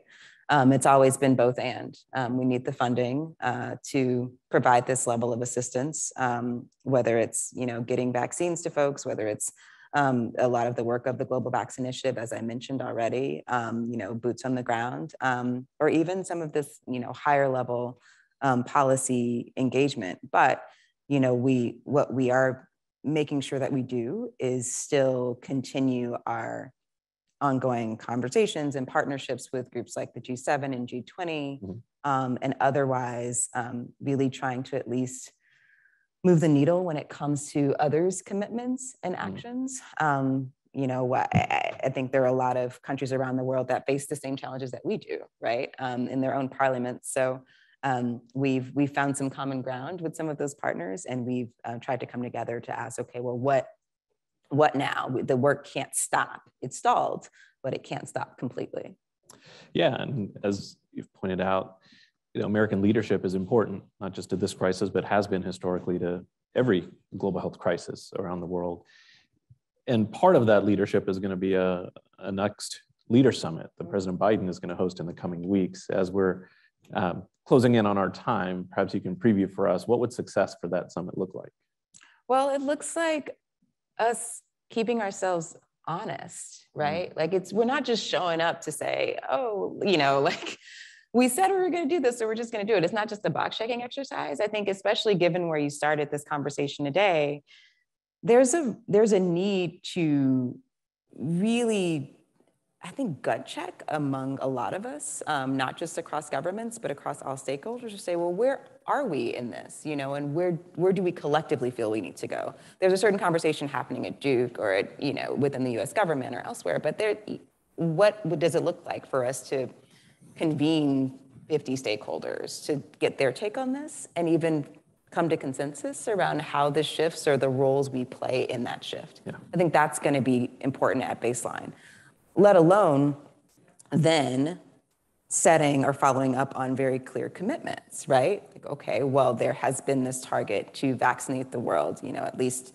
70% of the world that's been put out there by the Secretary General, by the Director General, WHO you know, where are we with that and what steps we have to take to get there? And are there other markers or milestones that we should be targeting mm-hmm. given where we are, not just with that goal, but where we are in the state of the pandemic? So that's the, the conversation we're hoping to have. We, we want it to be meaningful. We don't, you know, we don't just want it to be sort of one more meeting people attend. Um, uh, and so it's, you know, I think it's on us to ensure that it, it feels like a place where people can show up um, and that will be essential for us to make that progress because the, the people are counting on us. I mean, that's what matters too, right? Like everyone tunes into these meetings, virtual or otherwise, and they're like, well, what are you doing now? I'm still sitting here waiting on the world to change. And, and I think we have to deliver on that. So that's our hope going into the summit. And that's why the president is still so committed to making this happen, even with all of the headlines, is because he knows how urgent and essential this is at this time.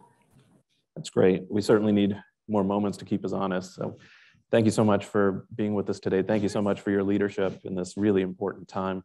Please thank me. Please help, join me in thanking uh, Loyce Pace. Thanks.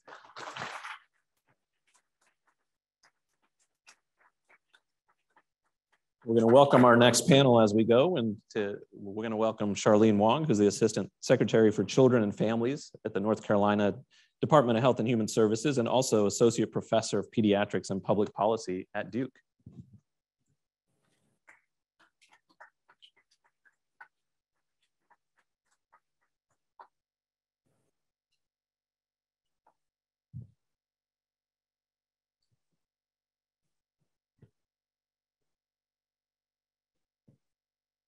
All right, well, we're gonna shift gears, uh, though this could cover, I think, domestic and global, because we are here today and now to talk about preparing the next generation of health reform leaders.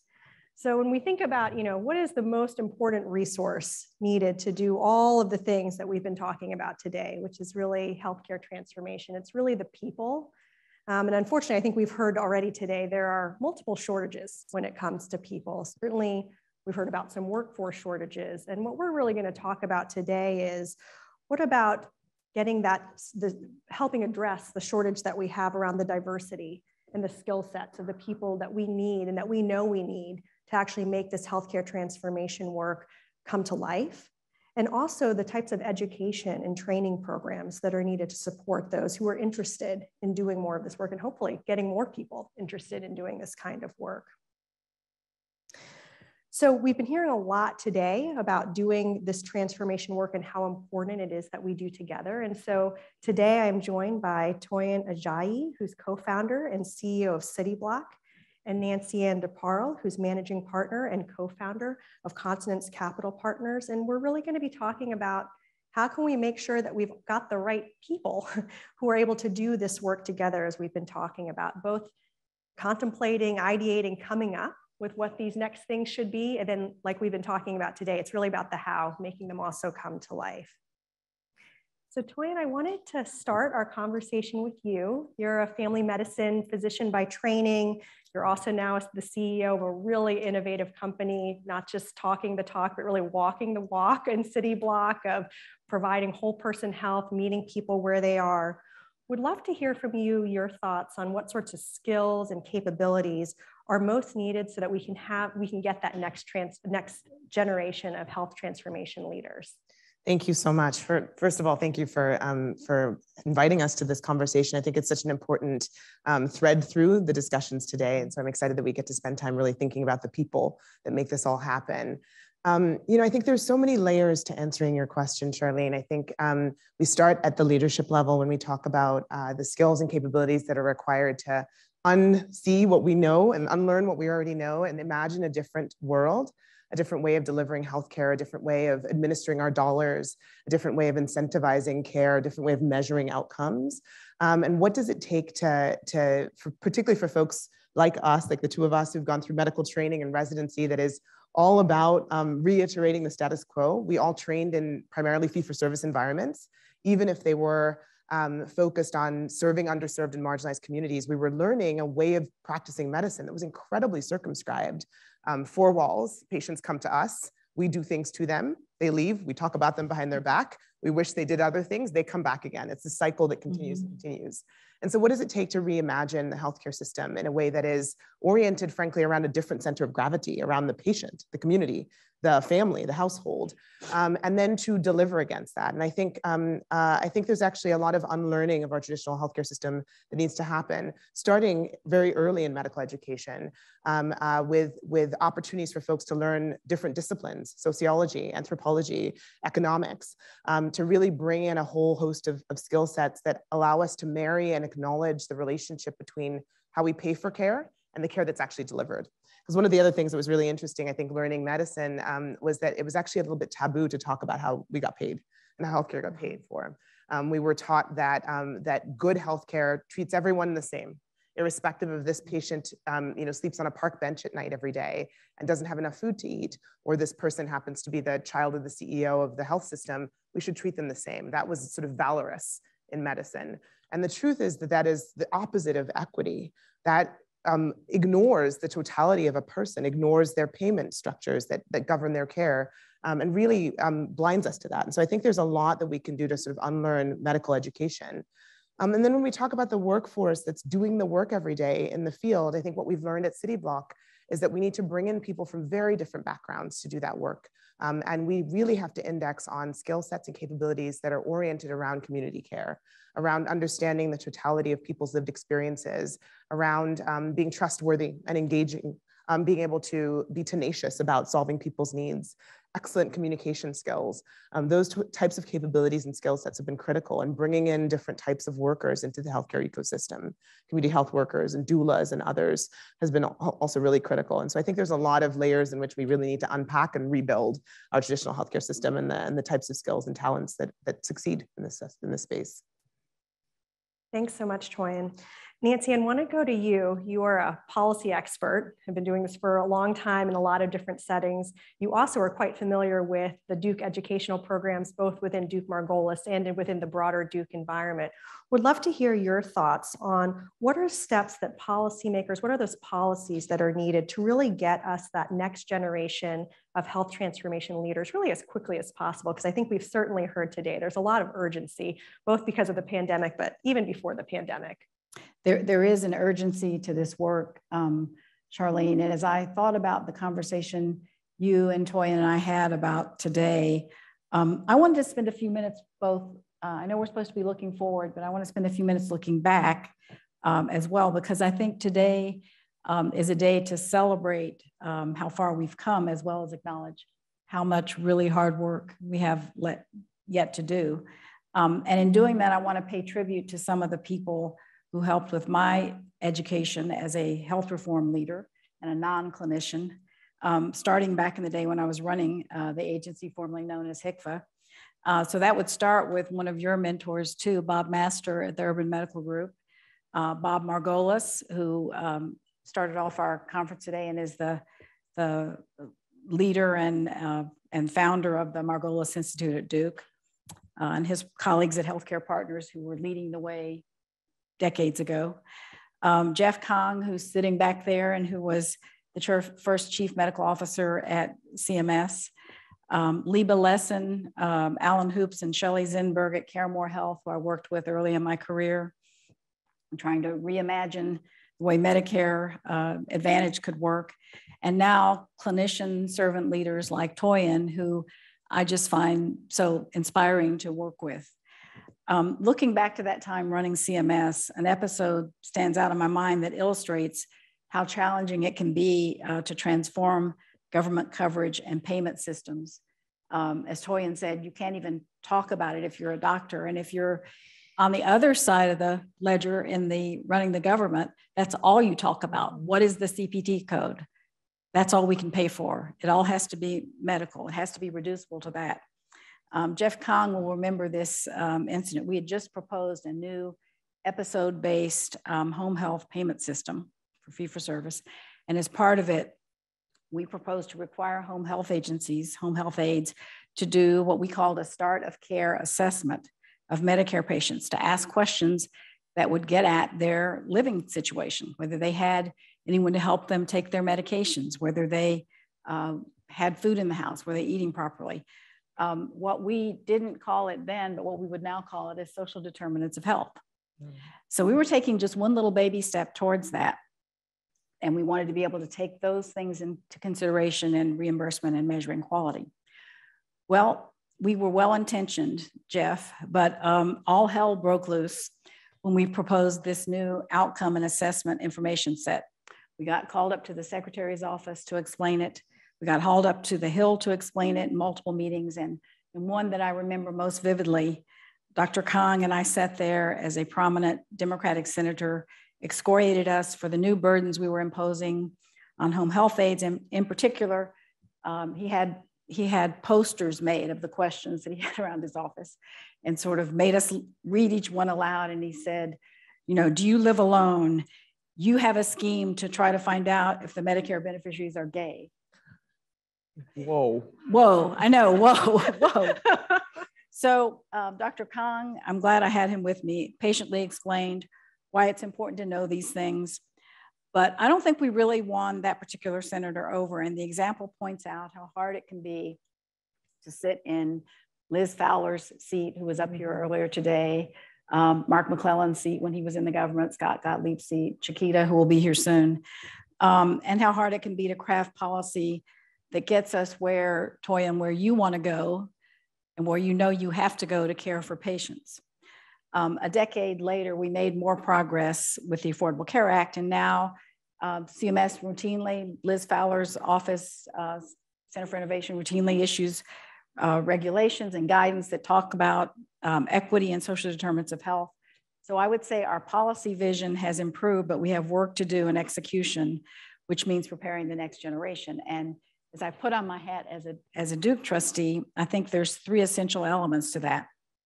One, finding and supporting, and since this is Duke, I'll add educating, um, empathetic, mission-driven, resilient problem solvers. Note that I did not say, with all respect to my colleagues, um, MDs. Mm-hmm. Uh, they're necessary but not sufficient. I think we all agree on that. Secondly, attracting uh, these talented people, whether younger or older, uh, to do this work. And the best way to do this, in my opinion, is by exposing them to Toyin. That's step number one, or someone like Toyin, if there is anyone like Toyin. Uh, but I but I say that in seriousness because I know that that's part of what um, the Margolis Center and you and your colleagues are doing is making sure that students that do get that opportunity. And third, rewarding them with financial and psychic benefits that are sufficient to make them want to invest in this work as a chapter in their careers. And I say psychic benefits because Toyin, I'll never forget the joy in that young woman's voice uh, and her face, who was one of your neighborhood coordinators when I spent a day with you. Um, she was reporting at a team meeting about having solved temporarily a client's housing problem, uh, which was crucial to that client getting the care that they needed. Um, and that's what, those are the kinds of people we need to attract and, and continue to give them those psychic rewards because she wasn't coming in just for the paycheck. Um, one of the best examples I've seen of an effective program to educate this next generation of health reform leaders and doers um, is at Duke School of Medicine, and it's called Root Causes. Um, it's run by Duke medical students, but importantly, from what I could tell, is a very um, um, equality-based organization and, and um, features and, and uses volunteers from throughout the Duke community, whether they're professors at Duke, students at Duke, people who work there, just people in the community. It aims to address food and housing insecurity for low-income Duke medicine patients with chronic diseases. One of the programs is run out of the Duke outpatient clinic, and it's simply called Fresh Produce. And what they do is that patients are referred uh, by the doctors in the outpatient clinic, by the teams. They can either pick up fresh food or get it delivered by volunteers along with recipes and nutrition help. And some of those patients have come to work in volunteering to help the community. It's kind of what you're doing as well. Um, it's a hands-on, non-medicalized, non-CPT code way to engage not just medical students, but the whole community in promoting the health of their patients. Uh, so that's critical. And I guess one more thing I would add is we need researchers, which is another part of the Duke um, enterprise. Great. Well, thanks so much, Nancy and for those comments.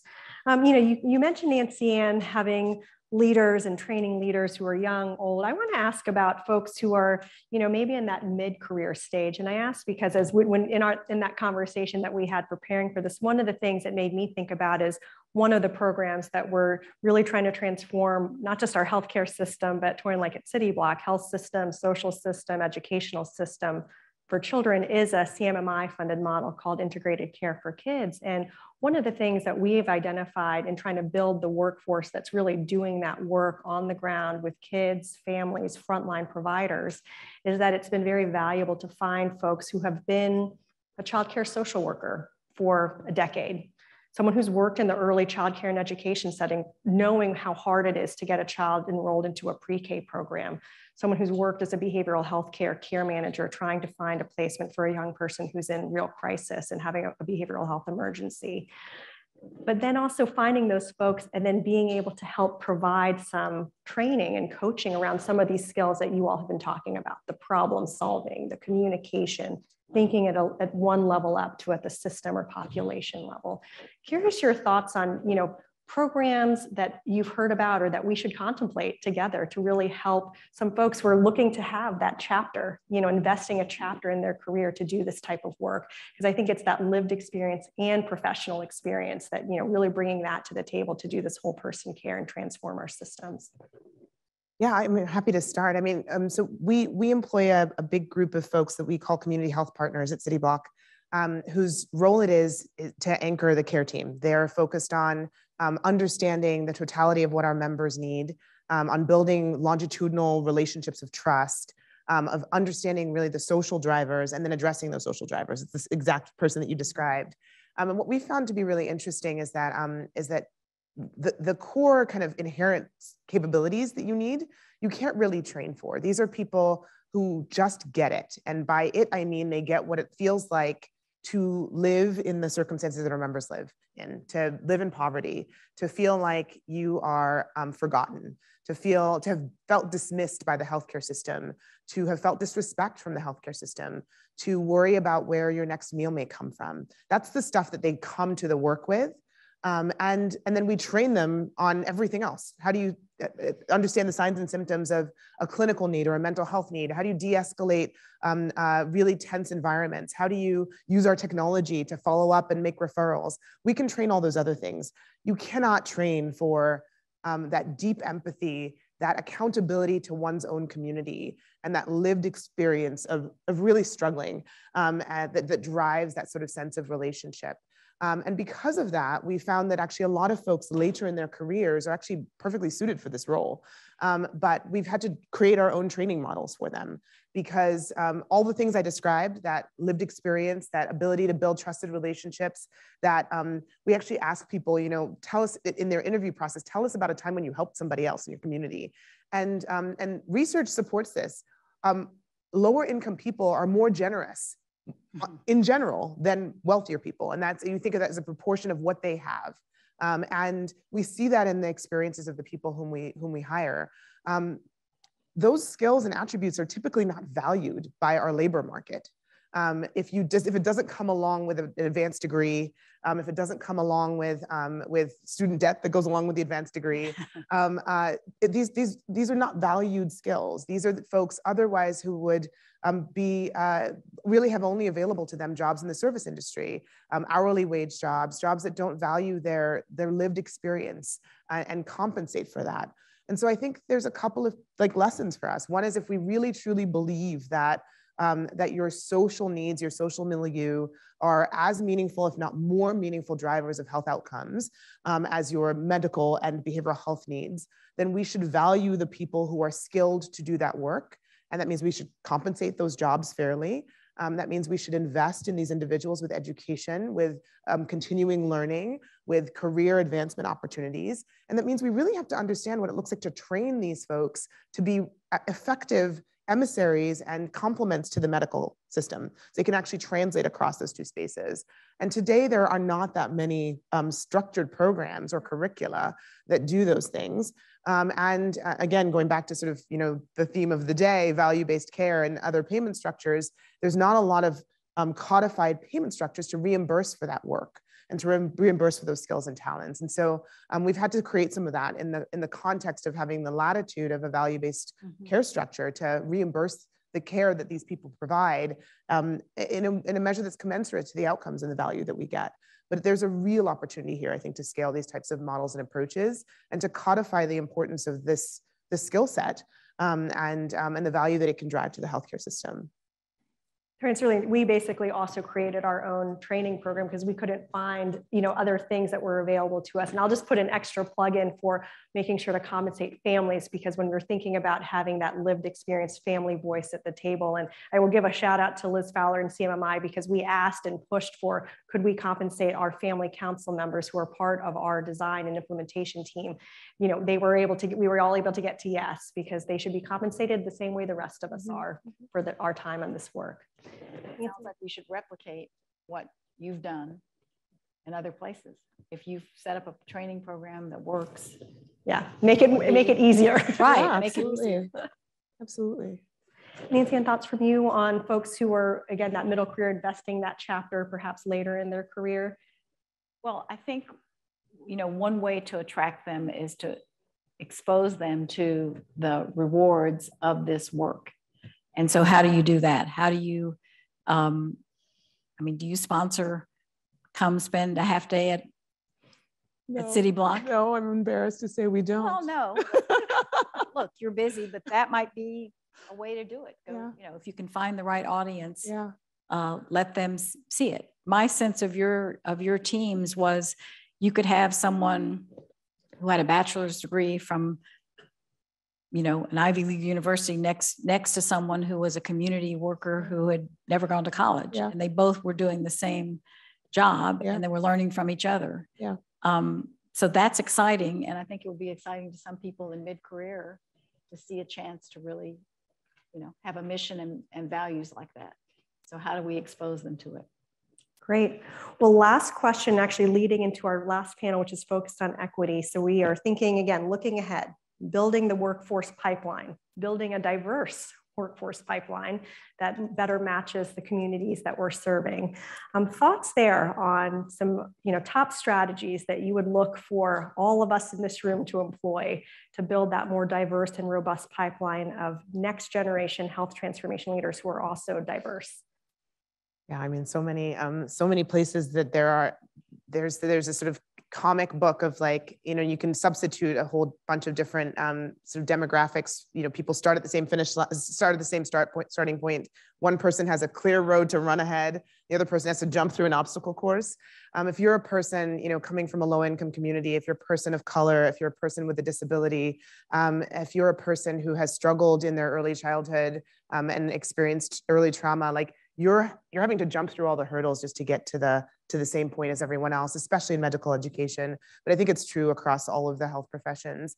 Um, and um, and we have to start like eliminating all of those systematically. Start from the top you know access to um, to uh, to education um, uh, funding for postgraduate education um, uh, the selection criteria that we use and what we value for people going into the health professions are not the things that actually matter.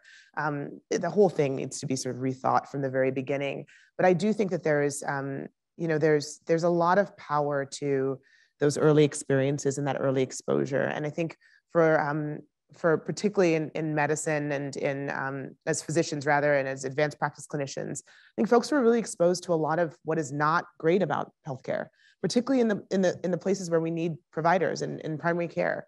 Um, they see burnout. They see you know the fee for service like just spiral. Um, they don't see the the things that I see. You know that home visit with a family where you were able to um, not only provide for their medical needs, but build a relationship and solve a social need that will translate into better health outcomes. What they don't see is the team meeting where you know the, the community health partner helps to secure housing and you know therefore you can start somebody and, and they may actually sustain treatment for their mental health or for their substance use disorder. Um, we, don't, we don't have enough models of those for people to see when they're even entering into healthcare to recognize that there is a different way.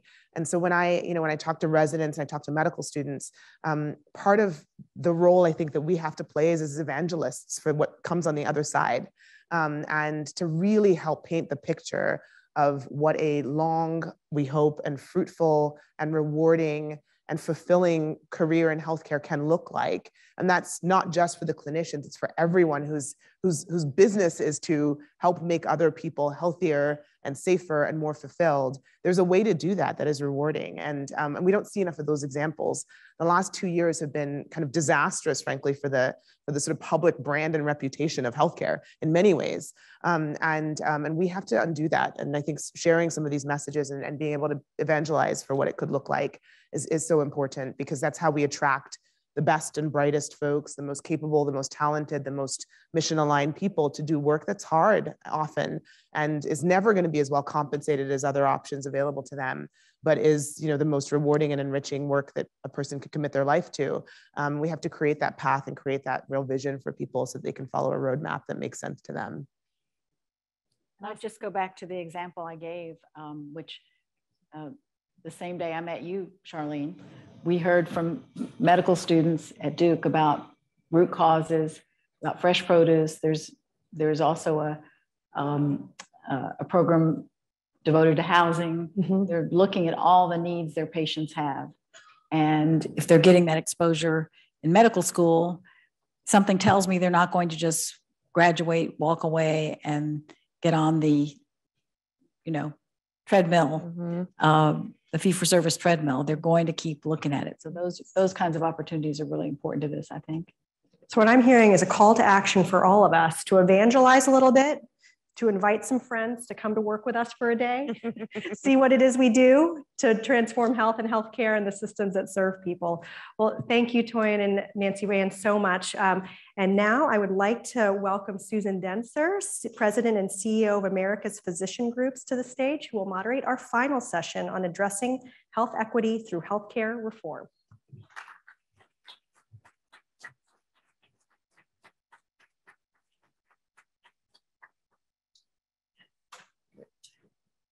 Thank you so much, Charlene. And yes, last but hardly least now, this panel on addressing health equity through healthcare reform.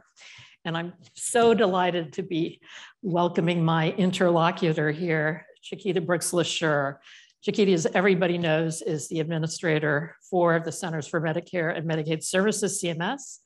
She oversees these small programs, Medicare, Medicaid, the Children's Health Insurance Program, healthcare.gov, Health Insurance Marketplace, et cetera, et cetera. Um, she is a long-time policy official. That's a long time, not old, long time, who played a key role in guiding the Affordable Care Act through passage and implementation. She has lots of experience in the federal sector at various levels in the executive branch and on Capitol Hill, as well as in the private sector. Uh, she was formerly the deputy for deputy director, excuse me, for policy at CCIIO, the Center for Consumer Information Insurance Oversight, so playing a key role in the standing up of the exchanges. And before that, director of coverage policy. She also led the agency's ACA implementation. And before that, she was in the House of Representatives working on the Ways and Means Committee uh, after having done a stint at OMB as well, uh, analyzing Medicaid. So as I say, lots and lots of experience, a lot of water under the bridge over the years, Chiquita. So as we think about equity in health and healthcare, if we were up at the 30,000 foot level, we would look down on what we see today and we would see lots of little dots, little beachheads of equity that maybe we didn't even see a few years ago, which is good. Let's let's frame this from the positive. And since you took the helm at CMS, we've seen the paving the way to equity progress report put out looking back at the 2015 to 20, Mm-hmm. 2021 era. We've seen the strategic refresh that you and liz put out Mm-hmm. uh, on the work at cms and cmmi uh, we've seen the transformation of the direct contracting model into aco reach which has the word equity now in its name uh, front and center uh, we've seen announcements of coming steps to tweak Medicare Advantage in certain ways, maybe put an equity index into the star rating system, et cetera, et cetera. So there's lots happening. Uh, and you've talked about doing even more.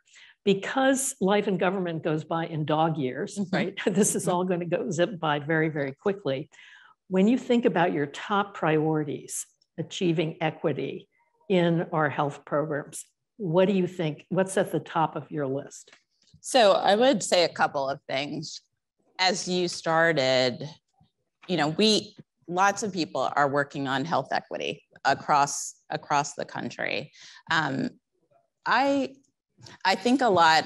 Uh, I, I like to reflect, and I I have started saying to the team and to others that the ACA was born out of a difficult time, and I think that there were questions about should we do health reform when the Affordable Care Act passed. But we really, as a country, saw this moment of economic crisis where the lack of health coverage was actually causing problems to our healthcare system. And I think the same thing has happened through the COVID 19 pandemic. We didn't use the words health equity in language in, except in small pockets. And now I think our, we as a healthcare system more broadly really understand that we have to address health equity, not just because it's the right thing to do for the people affected, but because we as a country have got to solve this issue for us to be able to operate and thrive and be able to survive the pandemic.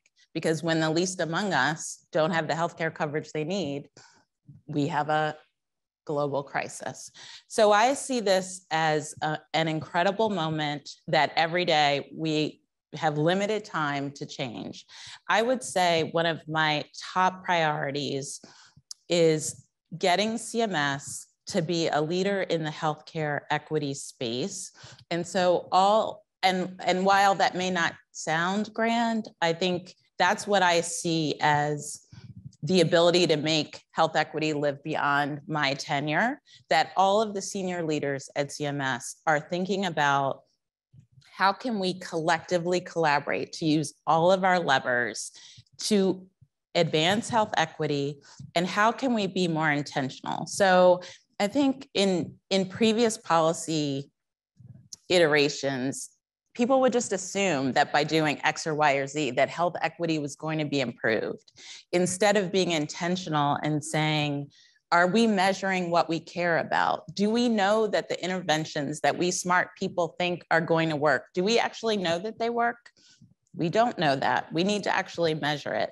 So part of my primary goal is to make sure that across our programs, we are thinking not just about the Medicare lever, not just about CCSQ and their space, not just about Medicaid, but across the continuum? Are we thinking holistically? Because you all, providers, health plans, people experiencing in our programs, don't see us, don't experience the healthcare system in the silo. We should all be rowing in the general same direction. So that is actually my biggest priority of, of, really trying to get the entire agency thinking in that way thinking in a collaborative way so that we can be part of the overall healthcare system. We are a huge lever. And, and, and so that's really what I want us to be at CMS. So, so speaking of yeah. measures, how will you measure success? When will you know that that's all that's worth? So what we've done, we've taken the six pillars and have uh, many cross-cutting initiatives, some of which you're starting to see, some of which are being rolled out um, this month. And, and you're seeing, we are getting really granular, like for coverage, we have the, these are the things we're gonna measure. Very excitingly, we had set a goal at the beginning and the open enrollment blew the goal out of the, um, out of the uh, park. park. So we said, oh, well, I guess we have to change the measure and up the ante. But across all of these, um, you know, all of our cross-cutting initiatives, we're measuring it in very specific ways. And then I would say, you know, these are these should all be very public. Maternal health is absolutely at the top of my list. And I think one of my happiest moments so far was with being with the vice president in at the White House and and elevating the issue of maternal health. And it was so moving for people with lived experience, as you just heard from the last panel, to actually be able to talk at the White House about what their experiences had been. Um, after I did a panel with members of Congress and, and also people who, one of whom had lost her daughter, and just the emotion of being able to elevate this issue. And have policymakers saying we're going to do something about this was a tremendous moment to really lift up the underserved and and really say we are going to take action. So that's one where you've started to see what we're doing. We're going to continue and and really are going to be working with all of you and inviting you to to come to Baltimore, to come to um, the Humphrey building, to really engage with us about how we can work together. But it's again, it's all about measurement. So that's one area of real focus. And I'm really excited about us using the Medicare lever, even though Medicare does not pay for that many births providers and others. Not yet. It's coming. it is so true. But uh, that it's it's part of the process, right? Like it is part of the healthcare system. And so hospitals can report on what they are doing because um, to the Medicare program and using the the quality measurement to make sure we are measuring again, make sure we're measuring things that matter, make sure we're including what the people who we're trying to serve care about. Because often as we talk to actual people. They care about things that are different than what we as policymakers um, may do. So those are a couple of things. And I could go on and on topic wise, mental health, huge crisis, huge um, area of focus for the department um, and, and for us collectively and down so down the list but what is top on my list is getting the whole agency to think this way on every policy we make and and i've already seen just the difference in um, the answers i get back the thought that people put in um, into it. And then maternal health that's something that is just it's embarrassing as a country that our our health outcomes are what they are. And we we have got to turn that around. That's great. So traditional medicare obviously still some equity issues. There's a piece, op-ed piece in the Washington Post today about a poor woman on Medicare who had a really bad set of outcomes around COVID, nursing homes, and not strictly speaking Medicare, but that interface between Medicare and long-term care, obviously still problematic. Medicare Advantage. Mm-hmm. So Medicare Advantage obviously has been a target of some criticism of late. Uh, for all the things it does that uh, people don't like relative to traditional Medicare, like costing more per beneficiary. On the other hand, there are all these supplemental benefits now, which are clearly of benefit to lower income populations. The patient experience data that CMS has seems to suggest comparable patient experience between Blacks and whites in Medicare Advantage. How do we think about Medicare Advantage from the standpoint of equity going forward, do you think? So I would say a couple of things. I uh, sort of say and joke I don't care what M you're in. I just want you to have care that is working and, and makes sense. And I really mean it. I want Medicare beneficiaries to be able to choose between whether they want to work, enroll in traditional Medicare or Medicare Advantage. It makes sense to have choice within reason. You don't need 100 choices. You need, but you should have decision making uh, abilities. And so I think it's important that we have um, robust efforts on both sides. I think that we have to, we of course have to care about what's happening with cost. And one of my questions and one of my focus on Medicare Advantage is we should be seeing something good and better than just overpaying relative to traditional Medicare. And so I think one of the things you'll see is our focus on really making sure we're measuring what's happening. I mean, I think there's just tremendous opportunity, especially for dual eligibles where they're already in two systems of Medicare and Medicaid. I, I mean, Medicaid managed care has grown so much from where we were, say, 10 years ago. There should be coordination. So, one of the things I want to see is do we see better coordination with MA plans and Medicaid managed care than we do with traditional Medicare, et cetera? So part of it is measurement, and that's why you're starting to see us talk about health equity index. And I agree that a lot of times the patient experience is really similar by race.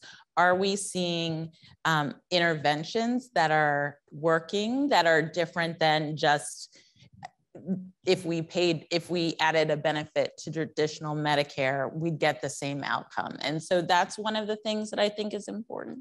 I think also um, when it comes to traditional Medicare, that's one of the reasons why the Innovation Center is so incredibly important about really testing what other things may need to change and evolve about traditional Medicare. And certainly coordination of care is such an a critical issue. And I hope you're seeing Meena in her space, Liz in her space, Lee in his space. We're really trying to get all, all of these three centers and, and Dan too on the Medicaid space to really think about how are we approaching value-based care? How are we making sure that we are to the extent that we have authority, moving the policies in ways that are going to deliver better outcomes for people, really having a very person centered focus, making sure we're measuring so that we know what's working and what needs to change. Um, and, and that's how I see the MA lens as a um, not not a need to demonize one side versus the other, but really for us to say, okay, we need to make sure we're using our dollars well. So we need to really evaluate what's happening. And there may be changes that we need to make, whether it's as an administration or, um, or for Congress, to make sure that both programs are viable for um, the future Medicare beneficiaries, which will be one day. Well, and staying on the topic of value-based care and alternative payment models, one of the issues both you and Liz have talked about is getting more providers who are working more with these populations into those models, safety net providers, yes. who, who traditionally may not have the tools, may not have the resources, certainly don't necessarily lack the ability, or certainly don't have the ability to take on a lot of risk mm-hmm. in risk-based models. How are you thinking about pulling more of those entities into these models? So I think this is, to me, the key one of the key parts of health equity is not just the underserved, it is making sure we are engaging the providers and the organizations that serve the underserved. So whether it's a safety net, whether it's community-based organizations, we have got to figure out how to integrate um, integrate them into our programs. And we've seen it during COVID-19. And, uh, and again, many of in the private sector are really thinking about this and able to do it maybe even faster than government about saying like how did we get people vaccinated by churches and and local groups that people had relationships with, trusted partners. We have got to engage those kinds of organizations. That's going to require us, and, and here is the tension that is going to require us to slow down a little bit and to make sure that we're bringing them along and not one size fits all. I don't know. Um, Liz has brought some people into our team who come from a state perspective, who say, like, if you want states to do innovation center models, you got to think about the state side of it. And so I would say we are trying to make sure that we are bringing in the perspectives of um, stakeholders that we don't talk to as much into our work. It, it will take time. And I think we all get frustrated sometimes with we want to solve the problem fast. Um, and, and there are going to be challenges like, uh, you know, specifically around some of these entities aren't going to want to or aren't able to enter in risk-based contracts.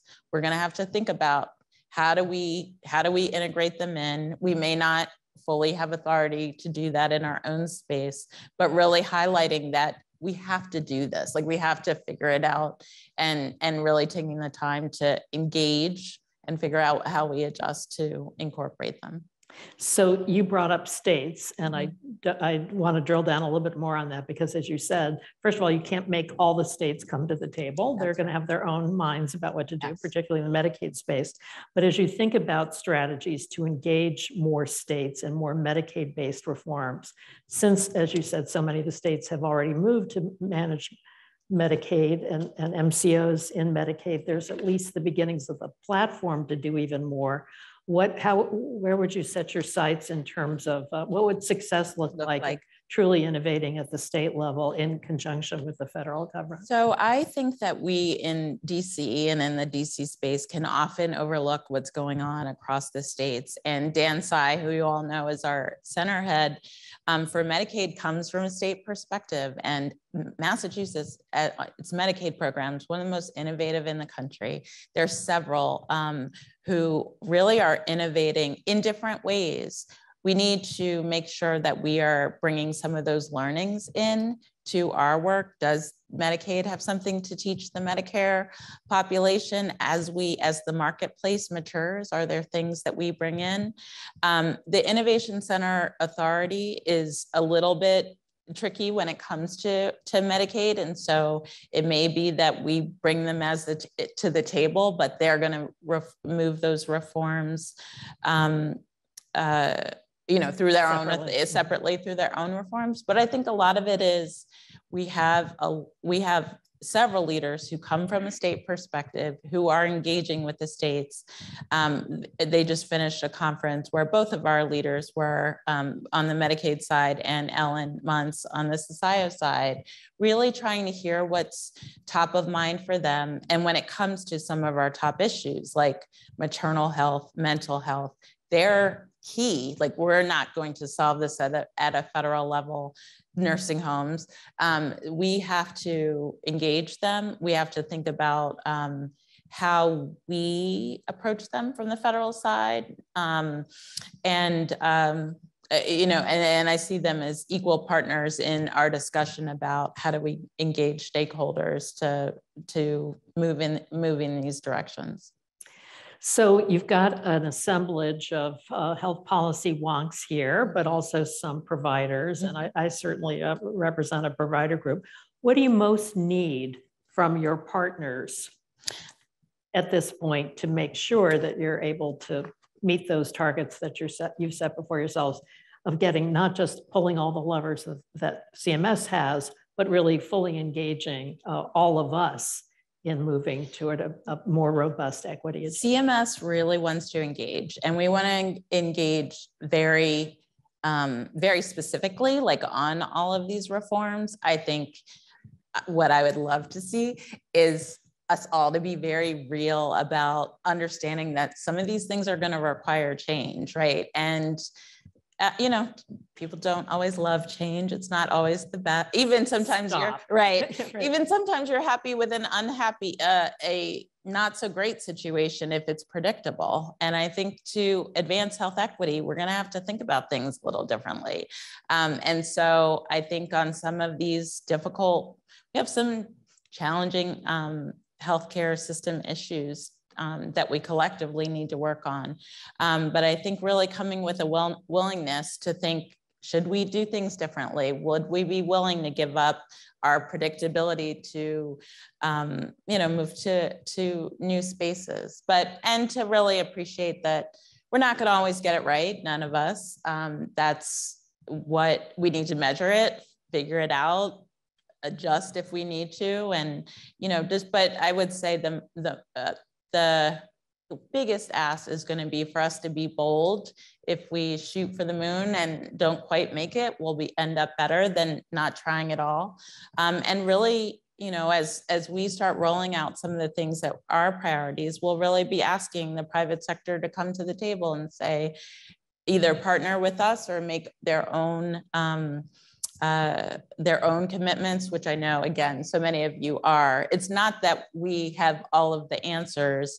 It's more that what I would like to see is us move with alignment, because if we're moving in similar directions, we're more likely to achieve our goals. And do you think those the toughest pieces are going to be getting institutions to change in order to reduce care disparities or confront structural racism or what what do you think what do i think the are the toughest things? I think it's really about um, i think the toughest things are going to be there are not infinite dollars and we have so many priorities. I mean i mentioned the ones that are top but we didn't get to cancer we didn't get to you know and i know you've been talking about so many things but there are so many things that we have capabilities of solving but um, they're competing, right? We haven't talked about sickle cell, which is something that um, is we, we could be doing a lot in that space. So they're just competing priorities. And I think really trying to make sure we're harnessing um, harnessing the energy and not looking at it as a pie that we're you know, who's going to get my piece of the pie, um, which is often how it never happens in healthcare. Uh, exactly. So um, I sound very optimistic and you know idealistic, but I, I know it. I, I don't mean to be. Uh, to, to know that it won't be tough. But I think that's going to be the difficult piece of saying some of the things to achieve our everybody wants to reduce disparities. Like there's not, I mean, there's I I would venture to say there's no one in the room who opposes that. It's actually moving the system to do that. That that will be challenging, especially if people disagree. Well, challenging indeed, but we're all very gratified that you're leading this extremely important effort and we wish you all the best. Thank you. Thank you so much.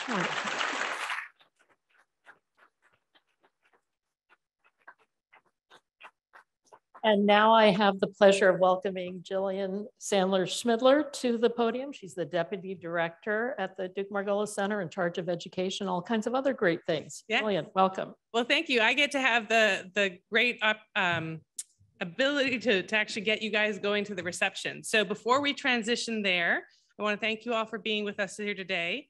Um, and I want to have you spend some time during the reception focusing on the educational programs and, and the, the students that we have involved with the center. And so for many of those that are here in DC, this is probably a part of the center that you don't see as much, but we have a very active group of students. And as you've heard, there's a really need for some of these change makers moving forward. So I do want the students that are in the room, if you could all stand up. Um, we have some both some existing students and some past alumni. Oh, and they're they're oh they're in two groups over there.